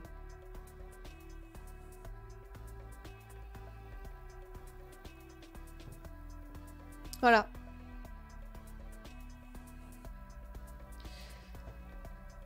C'est quand tu fréquentes peu de personnes que tu genre féminine, t'as l'illusion d'une relation intime. Je suis pas sûre que ce soit ça, mais je, pense que c'est vraiment des rapports de pouvoir en fait. Ils ont du, ils reprennent du contrôle sur notre image et c'est du rapport de pouvoir. Je pense. hein. Salut euh, Safashkan. Donc bref, là en l'occurrence, on a dérivé, mais euh, la manière dont sont perçus les chasseurs, euh, eux, en termes de représentation, ça va être euh, des beaufs, euh, des brutes, euh, des personnes, comment on dit, barbares, voilà, des barbares qui font des pratiques qui sont pas du tout progressistes, etc. Pourquoi tu vas remplir ta gourde de flotte aussi? Bah oui, je pourrais la remplir de sperme, ça leur plairait plus aussi. Putain, maintenant je vais boire sur ces belles paroles. Salut les Ilizards À l'aide. Je pense que c'est pour ça que je suis pas sur ce site, je les dégoûte. Je me suis vraiment dit, je suis sûre que j'y vais trop, en fait, j'y vais trop franco. Je peux pas être sur ce site. C'est pas possible. Je leur donne tout ce qu'ils veulent. Une fois, il y a un mec, il, ça, le clip, il a tourné et tout. Il y a un mec qui est venu sur mon stream et qui m'a dit littéralement, je suis en train de me branler devant toi. J'ai dit, bah écoute, euh, fais ce que tu veux, finis ton truc, qu'est-ce que tu veux que je fasse en fait? Tu veux que je t'aide? Enfin, pourquoi tu me le dis? Qu'est-ce que tu veux que j'y fasse? Tu fais bien ce que tu veux derrière ton écran Et je pense qu'il était. euh, Enfin, ça a dû. Parce que comme c'est des notions, c'est comme les dick pics, c'est des trucs de contrôle. T'as envie d'avoir le pouvoir sur la personne. Tu, une, tu viens dans son intimité, tu viens euh, dire tiens moi en fait je te possède, je te possède à ce moment-là, je possède ton image, j'en fais ce que je veux, tu vois. Et, et le truc c'est que si tu les laisses pas faire et que t'es en mode bah nickel en fait, bah, bah, bah viens en fait, bah attends, si tu veux tu nous dis quand tu viens, Euh, on met un chrono et puis tu peux mesurer aussi euh, le jet et tout, hésite pas, vas-y communique là-dessus, pas de problème. T'as commencé donc euh, continue quoi. Mais genre ils sont trop perturbés, ils sont en mode mais qu'est-ce qui se... qu'est-ce se passe? Ouais c'est un truc d'humiliation, c'est humilier ta victime, tu vois. Et du coup si t'es en mode mais en fait euh, juste nique ta mère. Alors tu peux les ignorer aussi. hein. Moi j'avoue c'est le premier truc qui me vient c'est de leur dire ça. Mais sinon ignorer, bloquer, en fait si tu leur donnes pas la satisfaction d'être perturbés, ils sont... Enfin ils ont beaucoup moins de kiff quoi. Mais oui c'est ça, ils kiffent les rapports de domination et les rapports de pouvoir ouais. Ouais ouais. Je suis sûre qu'il y en a que ça existerait quand même. C'est possible. Mais bon, au moins, en tout cas, euh, ça m'a fait rire. Moi, je suis excitée par les mots Natidé et Nemrod, chacun ses délires. si tu assumes ta sexualité, ils ont plus de mal à s'approprier, je trouve. Ouais, je suis d'accord. Ouais. Qu'est-ce qu'il y a, Minou? Oh là là. J'avais organisé un applaudissement de groupe pour un gros forceur en cam comme ça une fois. Mais t'as bien fait. hein. On fait comme on peut. hein. On réagit comme on peut surtout. hein. Sur le moment, c'est dur. Mais c'est une forme d'agression en vrai. euh, ce qui n'est pas une agression physique, mais c'est vraiment. euh, tu perds de contrôle sur qui tu es, ton identité et tout. C'est quand même assez violent. hein. Et ils le savent. Ils le savent. Voilà. Ça va, Minou? Euh, Donc. Il y a un chasseur qui dit aux chercheurs Notre baie de Somme, on ne nous la délocalisera pas. Ça, c'est hyper intéressant. C'est pour ça aussi qu'ils s'impliquent dans la chasse et dans la localité. Parce qu'ils perdent leur travail, de- d'usines, machin. Et ils se disent au moins notre baie de Somme, on ne la délocalisera pas. Ça, c'est intéressant, je trouve. Donc, les, les formes de chasse, elles euh, varient en fonction des environnements sociaux et spatiaux. Donc, des lieux. Des, classes sociales et des lieux. Des projets de recherche menés sur des sujets aussi variés que des résistances ruralistes à un projet de ville nouvelle dans la campagne picarde, ou des oppositions à l'implantation de la troisième plateforme aéroportuaire du Grand Bassin parisien, apportent des compléments qui resituent le- la chasse dans un cadre socio-géographique plus large. Donc en fait, au-delà d'être de la chasse et de tuer des animaux, enfin de prélever euh, des animaux, c'est la mise en avant de la localité, quoi. En disant bah en fait je résiste à des projets venus de l'extérieur sur notre territoire. Et moi je m'approprie mon territoire par le biais de ce euh, loisir, je mets entre guillemets évidemment. Euh, alors Mando, tu as l'air très énervé. Du coup c'est ça que tu veux? Mando? Regarde, c'est ça que tu veux? Ou pas? Veut l'élastique On ne sera sûrement euh, pas surpris de retrouver une approche à la fois socio-anthropologique et historique, combinée à la géographie électorale du vote en, faveur du Parti des chasseurs. Euh, ok. Mais qu'est-ce que vient faire le vote là-dedans? Ah, par rapport à la ruralité? D'accord. Mais là, le problème, c'est qu'il dit que ses directeurs de thèse euh, et le jury de la thèse parlaient de tous ces sujets-là, mais nous, on n'a pas les résultats. On a juste une synthèse de ce qu'il a fait dans sa recherche, en fait. On n'a pas les résultats de sa recherche? Oui. Oui, je sais, je sais. Je suis pas gentille. Je veux pas te donner l'élastique. Mais t'as qu'à être plus vif aussi. C'est quoi cette chasse là T'es aussi mou que Darmanin Ça va pas Autochtonie en Europe, c'est pour parler de la localité autochtone. C'est pas pour les peuples euh, autochtones euh, d'Amérique du Nord par exemple ou, ou du Sud. L'autochtonie, c'est la localité. Les gens qui sont d'ici, qui sont nés ici, qui ont grandi ici, tu vois.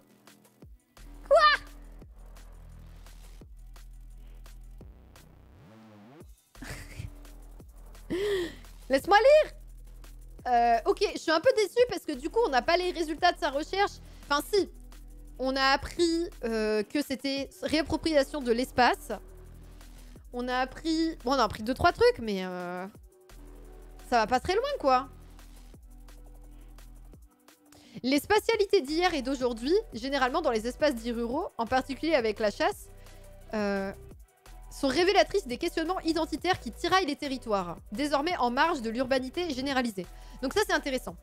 C'est ce qu'on disait, c'est que comme de plus en plus, il y a une urbanisation du, territoire français, et eh ben en fait, les, euh, les chasseurs, eux, ils vont être dans des questionnements identitaires parce qu'ils ont envie de maintenir leur territoire en place. Ah Oh non, d'habitude, tu mets pas les griffes, Bibou. Bah tiens, je te le donne, j'arrête de jouer avec toi si tu mets les griffes. Ça ne m'intéresse pas. Voilà. Oula, horrible, Finsouk. Maudit vient de comparer son chat à Darman. Ah, c'est bon, il est en train de jouer avec l'élastique. Il est très content. Euh, mais par contre, moi, moi. Mais en vrai, il a, il a juste posé la. Ah oui, mais c'est la griffe de pouce. Il m'a pas griffé, c'est la griffe de pouce qui est trop longue. Vous savez, le côté là. Toujours, toujours. Il a du mal à faire ses griffes sur celle-là. Les autres, ça va. Il est en train de faire n'importe quoi. Oh là là. Euh, c'est la raison pour laquelle, dans l'étude du monde associatif jusqu'au quartier populaire urbain, avec parfois des pratiques ah, de défense territoriale étonnamment ressemblantes. Mais c'est pas étonnant, c'est ce qu'on disait au début, incroyable Donc il est en train de dire que dans les quartiers populaires urbains ou dans les zones rurales, on, on peut avoir la même pratique de défense territoriale. Donc en fait, c'est des micro-parcelles de territoire qui vont être, euh, qui vont être euh, localisés avec des ressources localisées. Je sais pas pourquoi il écrit étonnamment, euh, peut-être parce que c'est loin spatialement, mais moi je trouve pas ça étonnant. Hein. Voilà, donc les gens sont notamment imbibés de la culture du lieu. Et donc du coup, le regard porté sur ces minuscules lambeaux de terrain, et à cette, il y a, il il y a un culte païen à cette emprise spatiale. Ce côté de ici, c'est un lieu particulier, j'ai pas envie de le quitter, quoi. Ce truc de l'endroit dans lequel j'ai grandi, dans lequel je vis, euh, c'est mon endroit et euh, j'y suis attachée, quoi. Donc euh, ça, c'est le système de pensée qu'il y a notamment chez les petits chasseurs, les ratins d'œufs, comme ils s'appellent eux-mêmes, à l'affût de la faune populeuse qui s'échappe des grands domaines, donc les, gibiers, quoi. Rivalités sociales qui ne sont jamais très éloignées, on le voit, des confrontations de surface et pour la surface. Donc en gros, il est en train de dire que les petits chasseurs, donc les ratins d'œufs, ils récupèrent les, sangliers qui sortent des grands domaines des propriétaires terriens, des bourgeois, en gros. Et du coup, il y a des rivalités sociales entre la chasse et les territoires euh, des euh, classes aisées et la chasse, du coup, des classes populaires. Ratin 2, euh, c'est un truc que je pense du Picard. Ça s'écrit comme ça. Voilà. Ratin 2. Et du coup, il le dit, il y a des confrontations pour la surface, pour la gestion de la surface. Et donc, du coup, euh, c'est lié aussi à des questions de, sociales, quoi. Rapport de classe. Le roussellement, exactement.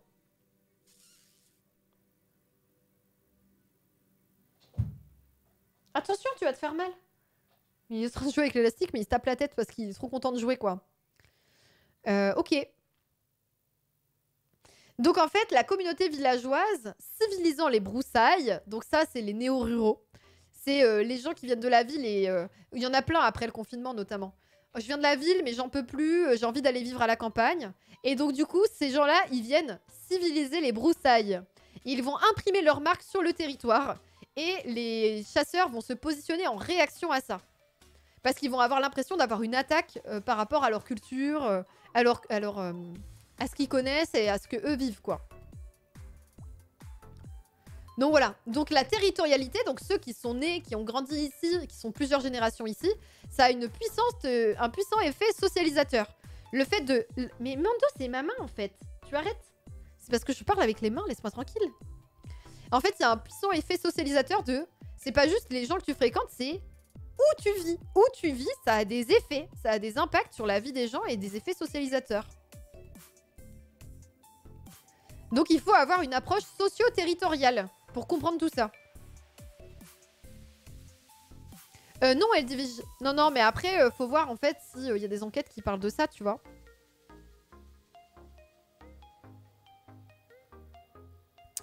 Ok. Il considère que la chasse, c'est le cheval de Troie des loisirs bourgeois, pour une campagne inventée à destination de nouvelles esthètes du sport désintéressé. Néanmoins, les oppositions de l'ordre de l'utilitaire et celui du symbolique qui seraient complémentaires méritent d'être discutées. Mais en fait, il dit que tout ça, ça doit être discuté, mais je sais pas à quelle conclusion il arrive. C'est pour ça que je comprends pas l'intérêt euh, de ce texte. Moi, je pensais que c'était une synthèse de sa recherche, mais en fait, il lance des pistes qu'il a lancées dans sa recherche, mais je vois pas si on arrive... En fait, il présente l'intérêt de son regard à lui, mais on n'a pas trop accès aux conclusions. Après, je vous avoue qu'à cause... Au début, je voulais lire sa thèse, mais à cause de la manière qu'il a décrire, bah, on va juste prendre ce qu'on peut en prendre. Et après, on se casse en fait. Enfin, genre. Les, la Somme, c'est les chasseurs, ils vont dire, de les chasseurs de la Somme, ils vont dire que eux, c'est le pays des chasseurs. Quelqu'un disait ça tout à l'heure sur la Somme, bah en fait, c'est ça. Cette assise quantitative du nombre d'associations nous a offert l'occasion de mesurer la concrétude, le caractère concret, de ces relations aux territoires locaux. Ok. Incroyable. Oui, tu voulais dire quoi au chat? Au chat, pardon. Que tu aimes la chasse Que tu veux chasser Tu veux que je te sorte dehors pour que tu chasses Mais ça dégoûte. La chasse à la colle, moi j'adore ça Les oiseaux, ils ont plus de choix que de souffrir. Maudit en a parlé parce que son grand-père fait ça. Euh, non, non, non, euh, pas véritablement. C'est juste quelque chose qui m'intéresse parce que quand on parle du vote Front National, par exemple, et quand on parle des classes rurales, pour moi, on peut pas parler, on peut pas ne pas parler des chasseurs. Tu vois ce que je veux dire? C'est quelque chose d'hyper important. J'ai entendu tu aimes la chatte? En fait, j'ai dit ça. J'ai mâché mon mot et du coup, j'ai dit ça, ouais. Voilà. Voilà, voilà. Du coup, la relation exacerbée euh, qu'on a à l'égard de, des espaces naturels, ça fait euh, que toute intervention extérieure de, de la part de personnes qui sont... En gros, toutes les personnes qui veulent intervenir sur le sujet de la chasse, mais qui ne font pas partie des territoires locaux, vont être perçues comme une attaque. Donc il dit, ça va être, ils vont être accueillis par une levée de fourche. Parce que justement, en fait, si tu t'attaques à leur loisir alors que tu es considéré comme un étranger, ça pose problème. Parce que l'important pour eux, c'est leur territoire. Et c'est pour ça, c'est l'enjeu principal de la chasse, c'est avant tout le territoire. Pas les animaux, le territoire. Incroyable. C'est intéressant ça. Pour le coup, euh, ça, je, trouve que je l'ai appris quoi. il dit qu'il y a du vampirisme territorial de la part de, certains groupes qui viennent du haut du coup et qui vont dire bah moi, euh, euh, le gibier, il va aller là, vous aurez le droit de chasser ici, machin et tout. Voilà.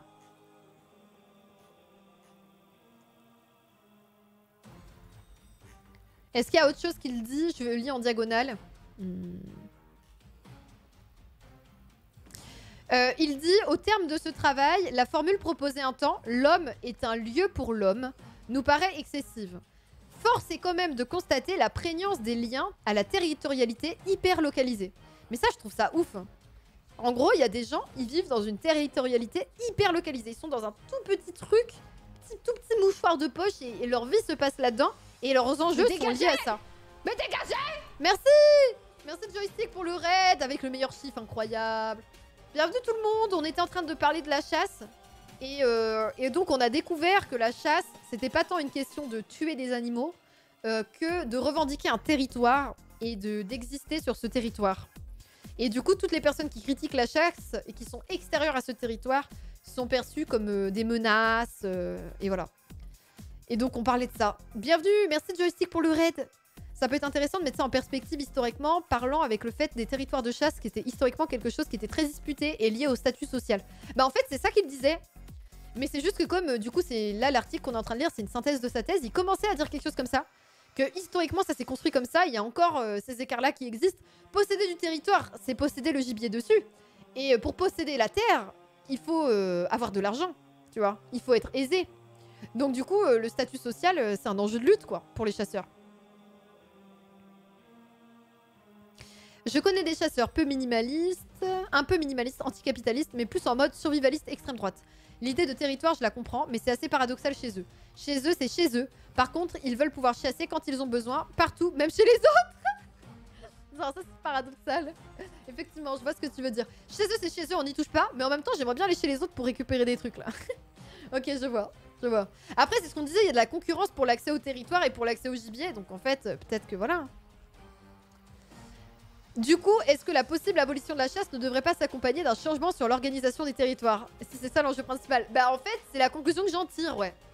Ou en tout cas, changer nos rapports au territoire. Et peut-être que les personnes qui décident qui se...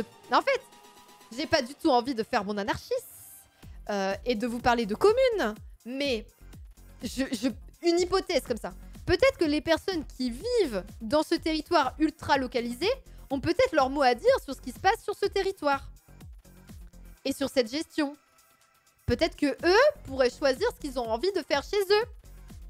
Et donc, ce qui est intéressant là-dedans, c'est que les chasseurs restent quand même minoritaires en zone rurale. Ça dépend des coins. Apparemment, en Picardie, en et dans la Somme, il y a masse chasseurs. Mais sinon, dans d'autres régions de France, chez moi par exemple, dans le Poitou-Charentes, c'est le cas, euh, les chasseurs, il n'y en a pas beaucoup. Même les jeunes hommes chassent très peu.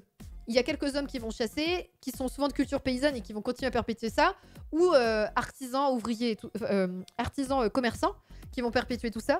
Euh, mais euh, sinon, en fait, euh, la plupart des gens ne chassent pas. C'est même très mal vu. Parce que maintenant, les nouveaux loisirs qui vont être mis en avant, c'est la marche, la balade en forêt, promener le chien, faire du vélo. Bref. Du coup, en fonction des territoires, il y a certains territoires où les chasseurs sont quand même assez isolés. Et donc, euh, c'est vrai qu'il n'y a pas de. Enfin voilà, je pense qu'il faut repenser un truc très localisé. Et c'est intéressant, quoi. Je trouve ça intéressant.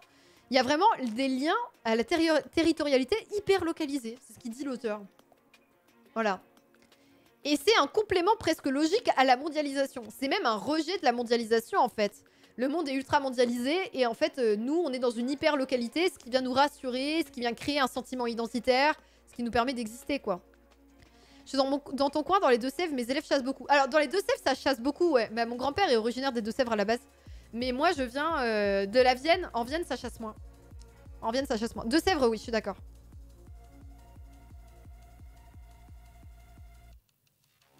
En chassant, la majeure partie des pratiquants semblent la- à la recherche d'un temps perdu. D'une autre période, c'est ça qui veut dire ou pas du tout? C'est en ce sens que l'étude de la pratique de la chasse intéresse les sciences sociales, pour comprendre les transformations de la société française via les relations entretenues à la nature. Parce que la chasse constitue une forme de fait social total, sa compréhension dé- détient une capacité heuristique. Donc ça c'est chiant, et nous place son truc. Mais en gros, ça c'est intéressant de dire, par le biais d'une pratique, on va voir les transformations de la société française. Et c'est pour ça qu'on a pu faire des parallèles avec le vote, en disant, bah en fait, euh, euh, le Marine Le Pen, avec le Rassemblement National, va capitaliser sur les blancs, les hommes blancs notamment, mais en vrai les familles blanches, en zone rurale, de classe populaire, et essayer d'obtenir leur vote, justement en jouant sur l'accord de vous êtes méprisés, vous n'existez pas, euh, vous avez l'impression qu'on vous dépossède de votre territoire, vous inquiétez pas, nous on s'en occupe quoi. Il a passé son mot contre triple à la fin, c'est bon quoi, on va l'ignorer. Alors de Sèvres, il les Vendéens. Salut Fanny Lille. Euh, Thierry Coste, lobbyiste de la Fédération nationale de chasse, il dit l'idée de défendre la chasse revient à défendre la ruralité dans son ensemble. C'est une assimilation fallacieuse mais que nous avons réussi à installer. C'est ça Exactement. Si tu défends la chasse, tu défends la ruralité dans son ensemble. C'est exactement ça qu'ils mettent en avant. Et exactement. Carrément. Ils me tuent, ils balancent tous leurs plans comme les méchants de James Bond. Mais toujours les chasseurs. Terrible. Merci euh, Vanillil pour les 43 mois de soutien. Oh, la vache, 43 mois, des bisous Vanillil. C'est beaucoup.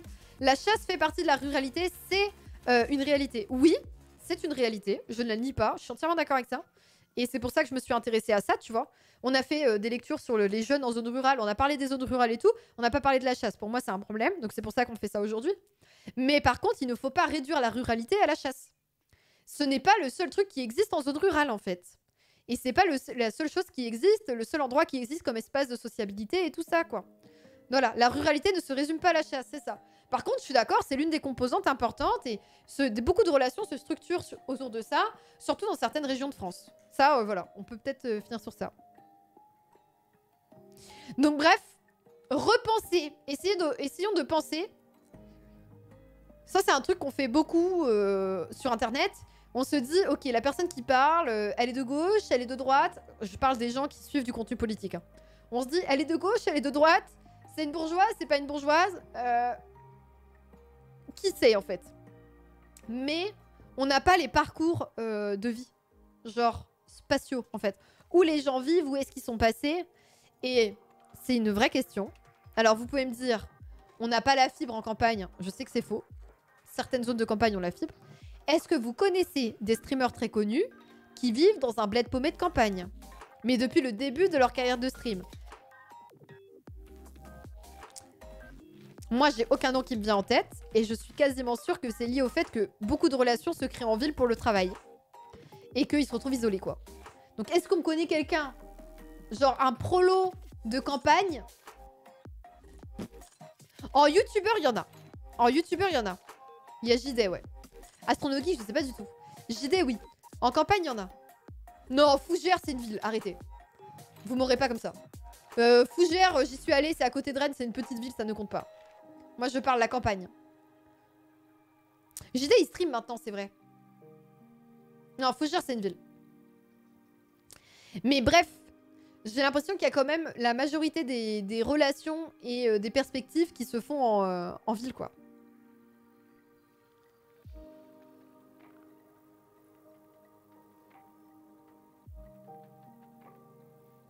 Non, JD, il est en Savoie. Je crois. Il le dit sur ses vidéos, il filme à l'extérieur. Euh, après, je connais pas plein de coins de France, donc je mélange tout. Salut, ma vie, c'est de la merde. Faut pas... Faut déjà parler de la couverture Internet en zone rurale. Non, mais je m'en fous. C'est ce que j'ai dit. Il y a, il y a de plus en plus la fibre partout. Il y a beaucoup de gens qui se lancent dans le stream aujourd'hui, euh, depuis le confinement. Depuis 2020, t'as plein de zones rurales qui ont la fibre. Il y a plein de zones rurales qui ont la fibre. C'est vraiment juste que j'ai l'impression que c'est très structurant dans les relations que d'être en ville, en fait. Et du coup, qu'on n'a pas forcément de représentation de prolo de, la campagne. Voilà. Et c'est marrant parce que c'est pas une question qu'on se pose. Sauf quand on parle de véganisme. Moi, j'ai tout le temps la question. Euh, C'est-à-dire qu'en gros, quand je parle de véganisme sur Internet, euh, je me fais... Alors, pas sur Twitch. hein.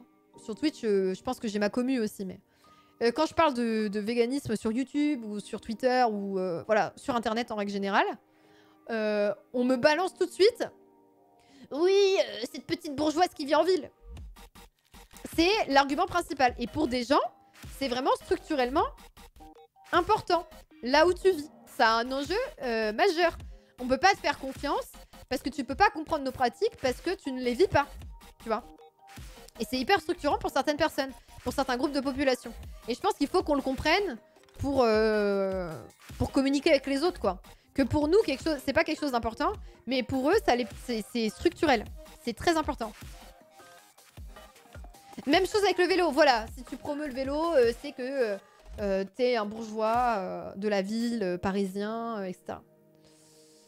Après, en vrai, je les comprends parce que il y a beaucoup de... Enfin... autocritique, quoi. Euh, je suis antispéciste, j'ai croisé beaucoup de véganes, la plupart, j'aurais pas envie de les avoir comme amis, quoi. Ils, sont, ils font du mépris de classe à balle. Ils méprisent euh, les gens de classe populaire, encore plus en zone rurale. Ils les prennent l'image du gros beauf euh, qui se gratte les couilles et, et qui est misogyne. et voilà, ils ont cette image-là des gens de la campagne, en fait. Vraiment très importante, donc c'est compliqué, quoi. Je comprends aussi qu'ils aient ce rapport de réaction, quoi. Quand les interactions qu'ils ont avec les gens, c'est ça. Pour beaucoup de mecs, dès que t'es une femme qui se laisse pas faire, tu es d'une bourgeoise. Oui, oui, c'est vrai. C'est vrai, on m'a beaucoup dit ça aussi. Écoutez, euh, moi ça me va. Je trouve que j'ai un bon passing de classe là, ça me va. Vélo ici parce que pas les thunes pour une voiture, mal, mais aussi parce que je suis une écolo chiante popo. bah on fait comme on peut, hein. Il faut voir aussi comment les anticipés blancs parlent des pratiques culinaires d'Asie et d'Afrique. Ah non mais horrible. Horrible. Les militants en carton, hein. Carton pâte.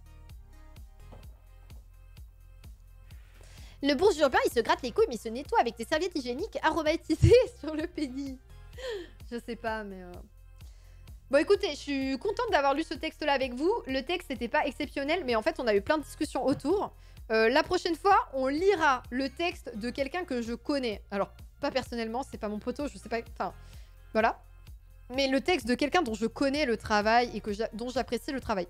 Je l'avais jamais vu euh, écrire sur la chasse, je savais pas qu'il avait écrit sur des trucs sur la chasse. Mais je suis quand même contente euh, de pouvoir vous proposer de dire ça.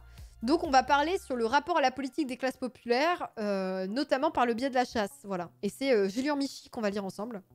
Donc voilà. J'ai un peu cette réflexion récemment sur le convoi des libertés que je soutiens pas forcément, en me disant qu'on avait vraiment une vision très gentrifiée des luttes et qu'on comprenait pas forcément pourquoi toutes les figures de gauche euh, soutenaient ce mouvement. Non, mais on a une, une vision très gentrifiée de plein de choses. Il y a eu le problème avec les gilets jaunes aussi, quoi.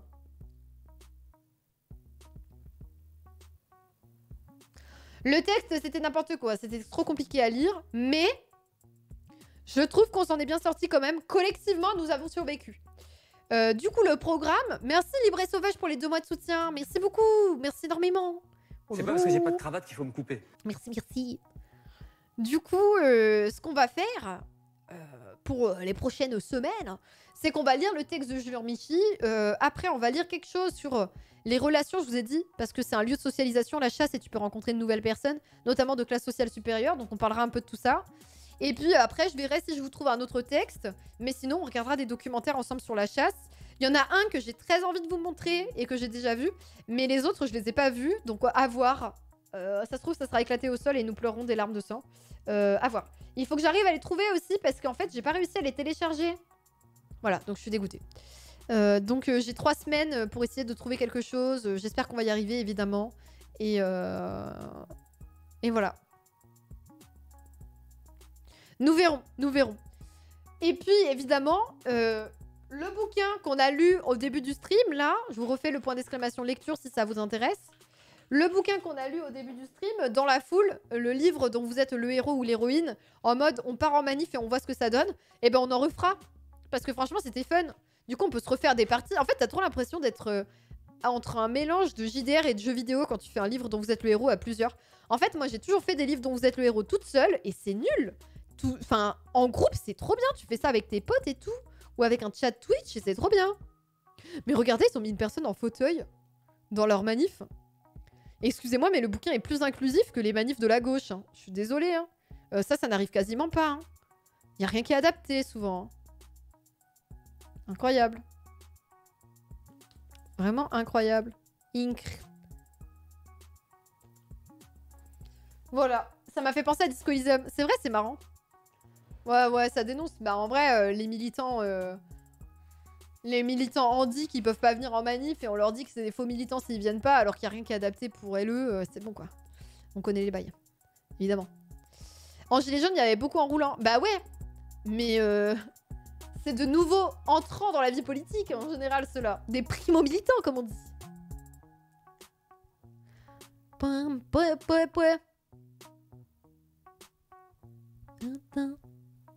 Quand est-ce que tu feras ton stream sur la chasse? Alors, c'est tous les jeudis à 17h, les live lectures de sciences sociales.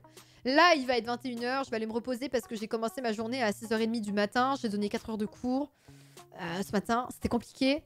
Euh, il faut que je corrige des copies, mais je verrai peut-être ça demain. Euh, le, la suite de ce qui va se passer dans les streams, tous les jeudis à 17h, live de lecture sur la chasse pendant ce temps. Pendant ce temps. Enfin, pendant les prochaines semaines, on va dire, pendant 2 à 3 semaines. Après, on regarderait docu ensemble. Demain, à 9h, stream sur Elden Ring. J'ai trop hâte, j'arrête pas de penser au jeu. Euh, du coup, on a tué le premier boss euh, non optionnel, euh, là, Margit. Et on va se balader dans le jeu, on va continuer des trucs. Donc voilà, donc c'est vendredi. Vendredi, donc demain, à partir de 9h pour le prochain stream. Vous avez juste une nuit à passer sans moi. Et pour les gens qui sont plus stream du soir, rendez-vous du coup Samedi à 18h pour l'Indie Night, on va jouer à des jeux indés en fin de soirée, voilà. Enfin, en fin de soirée, fin d'après-midi plutôt. Et on va s'amuser ensemble sur des jeux indés, notamment Death un jeu avec un petit euh, corbeau. Voilà. J'ai trop hâte. Demain, je pourrais pas trop backseat. Pourquoi? Parce que t'es pas là? Oh non. Parce que le travail. Voilà. Oh là là, ces profs toujours fatigués. Ouais, j'avoue que c'est un peu dur. Je viens de donner la moitié de mes cours. Il me reste encore la moitié du semestre à tenir. C'est chaud là. Faut se lever tôt pour backseat, c'est terrible. Ouais, bah si vous voulez backseater, faut être motivé. Voilà. Des bisous les gens, merci beaucoup d'avoir suivi ce stream. On continue sur la chasse euh, la euh, semaine prochaine. Rendez-vous du coup euh, demain ou samedi pour la suite des streams. Je récupère les événements euh, du stream. Merci beaucoup à Livret Sauvage pour les deux mois de soutien. Vanille 43 mois. Merci Gilles Kibir pour les 4 mois. Borges Grassins pour le sub. Merci Lovac pour les 13 mois de soutien. Penucci 19 mois. Merci Iwilo pour les 5 mois. Mimi Rabel 3 mois. Light MV 49 mois. Rigop 22 mois. Merci euh, Maxence pour les 5 mois de soutien. Merci Paradox pour le Prime. Merci Ida Ozu pour les 14 mois. Concombre 2 mois. War Crocro pour les 3 mois. Merci Bubule pour les 5 mois. Efo euh, pour le, 4, les 4 mois de soutien. Blondie 6 mois. Merci euh, Tylee pour les 4 mois de soutien. Ditz pour les 34 mois. Team Magnum 1 an. Et merci à toutes et à tous d'avoir suivi ce stream. Merci à la personne qui est passée directement sur mon site. N'oubliez pas que j'ai un site. Et qui n'a pas donné de sous à Twitch. Merci beaucoup. Merci. Je vous fais des bisous et je vous donne rendez-vous euh, très bientôt sur les internets. Oubliez pas, oubliez pas de follow mes réseaux sociaux évidemment. Dynastie de profs dans ma famille, quoi. Incroyable. Oubliez pas de follow sur les réseaux sociaux parce que là sur Instagram, je suis en train de bourrer de photos du Battle 4 et tout. J'ai plein de trucs à vous montrer. Je fais des stories avec mon chat. Enfin, c'est incroyable quoi. Des bisous les gens. À bientôt sur les internets. Au revoir. Au revoir.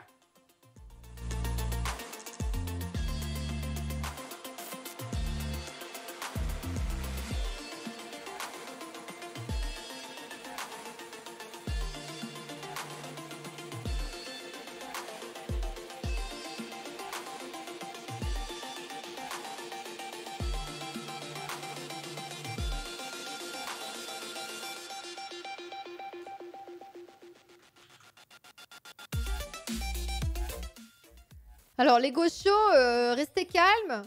Je vous envoie chez quelqu'un euh, que j'ai rencontré au Battle 4 qui prenait les photos de l'événement euh, du Battle 4. Alors, c'est pas Joe Coco parce qu'il est pas en stream, c'est Bakared et qui fait des streams musicaux. Donc, si vous avez envie de vous détendre sur du rock et du métal, eh ben, je vous envoie chez Bakared qui chante extrêmement bien.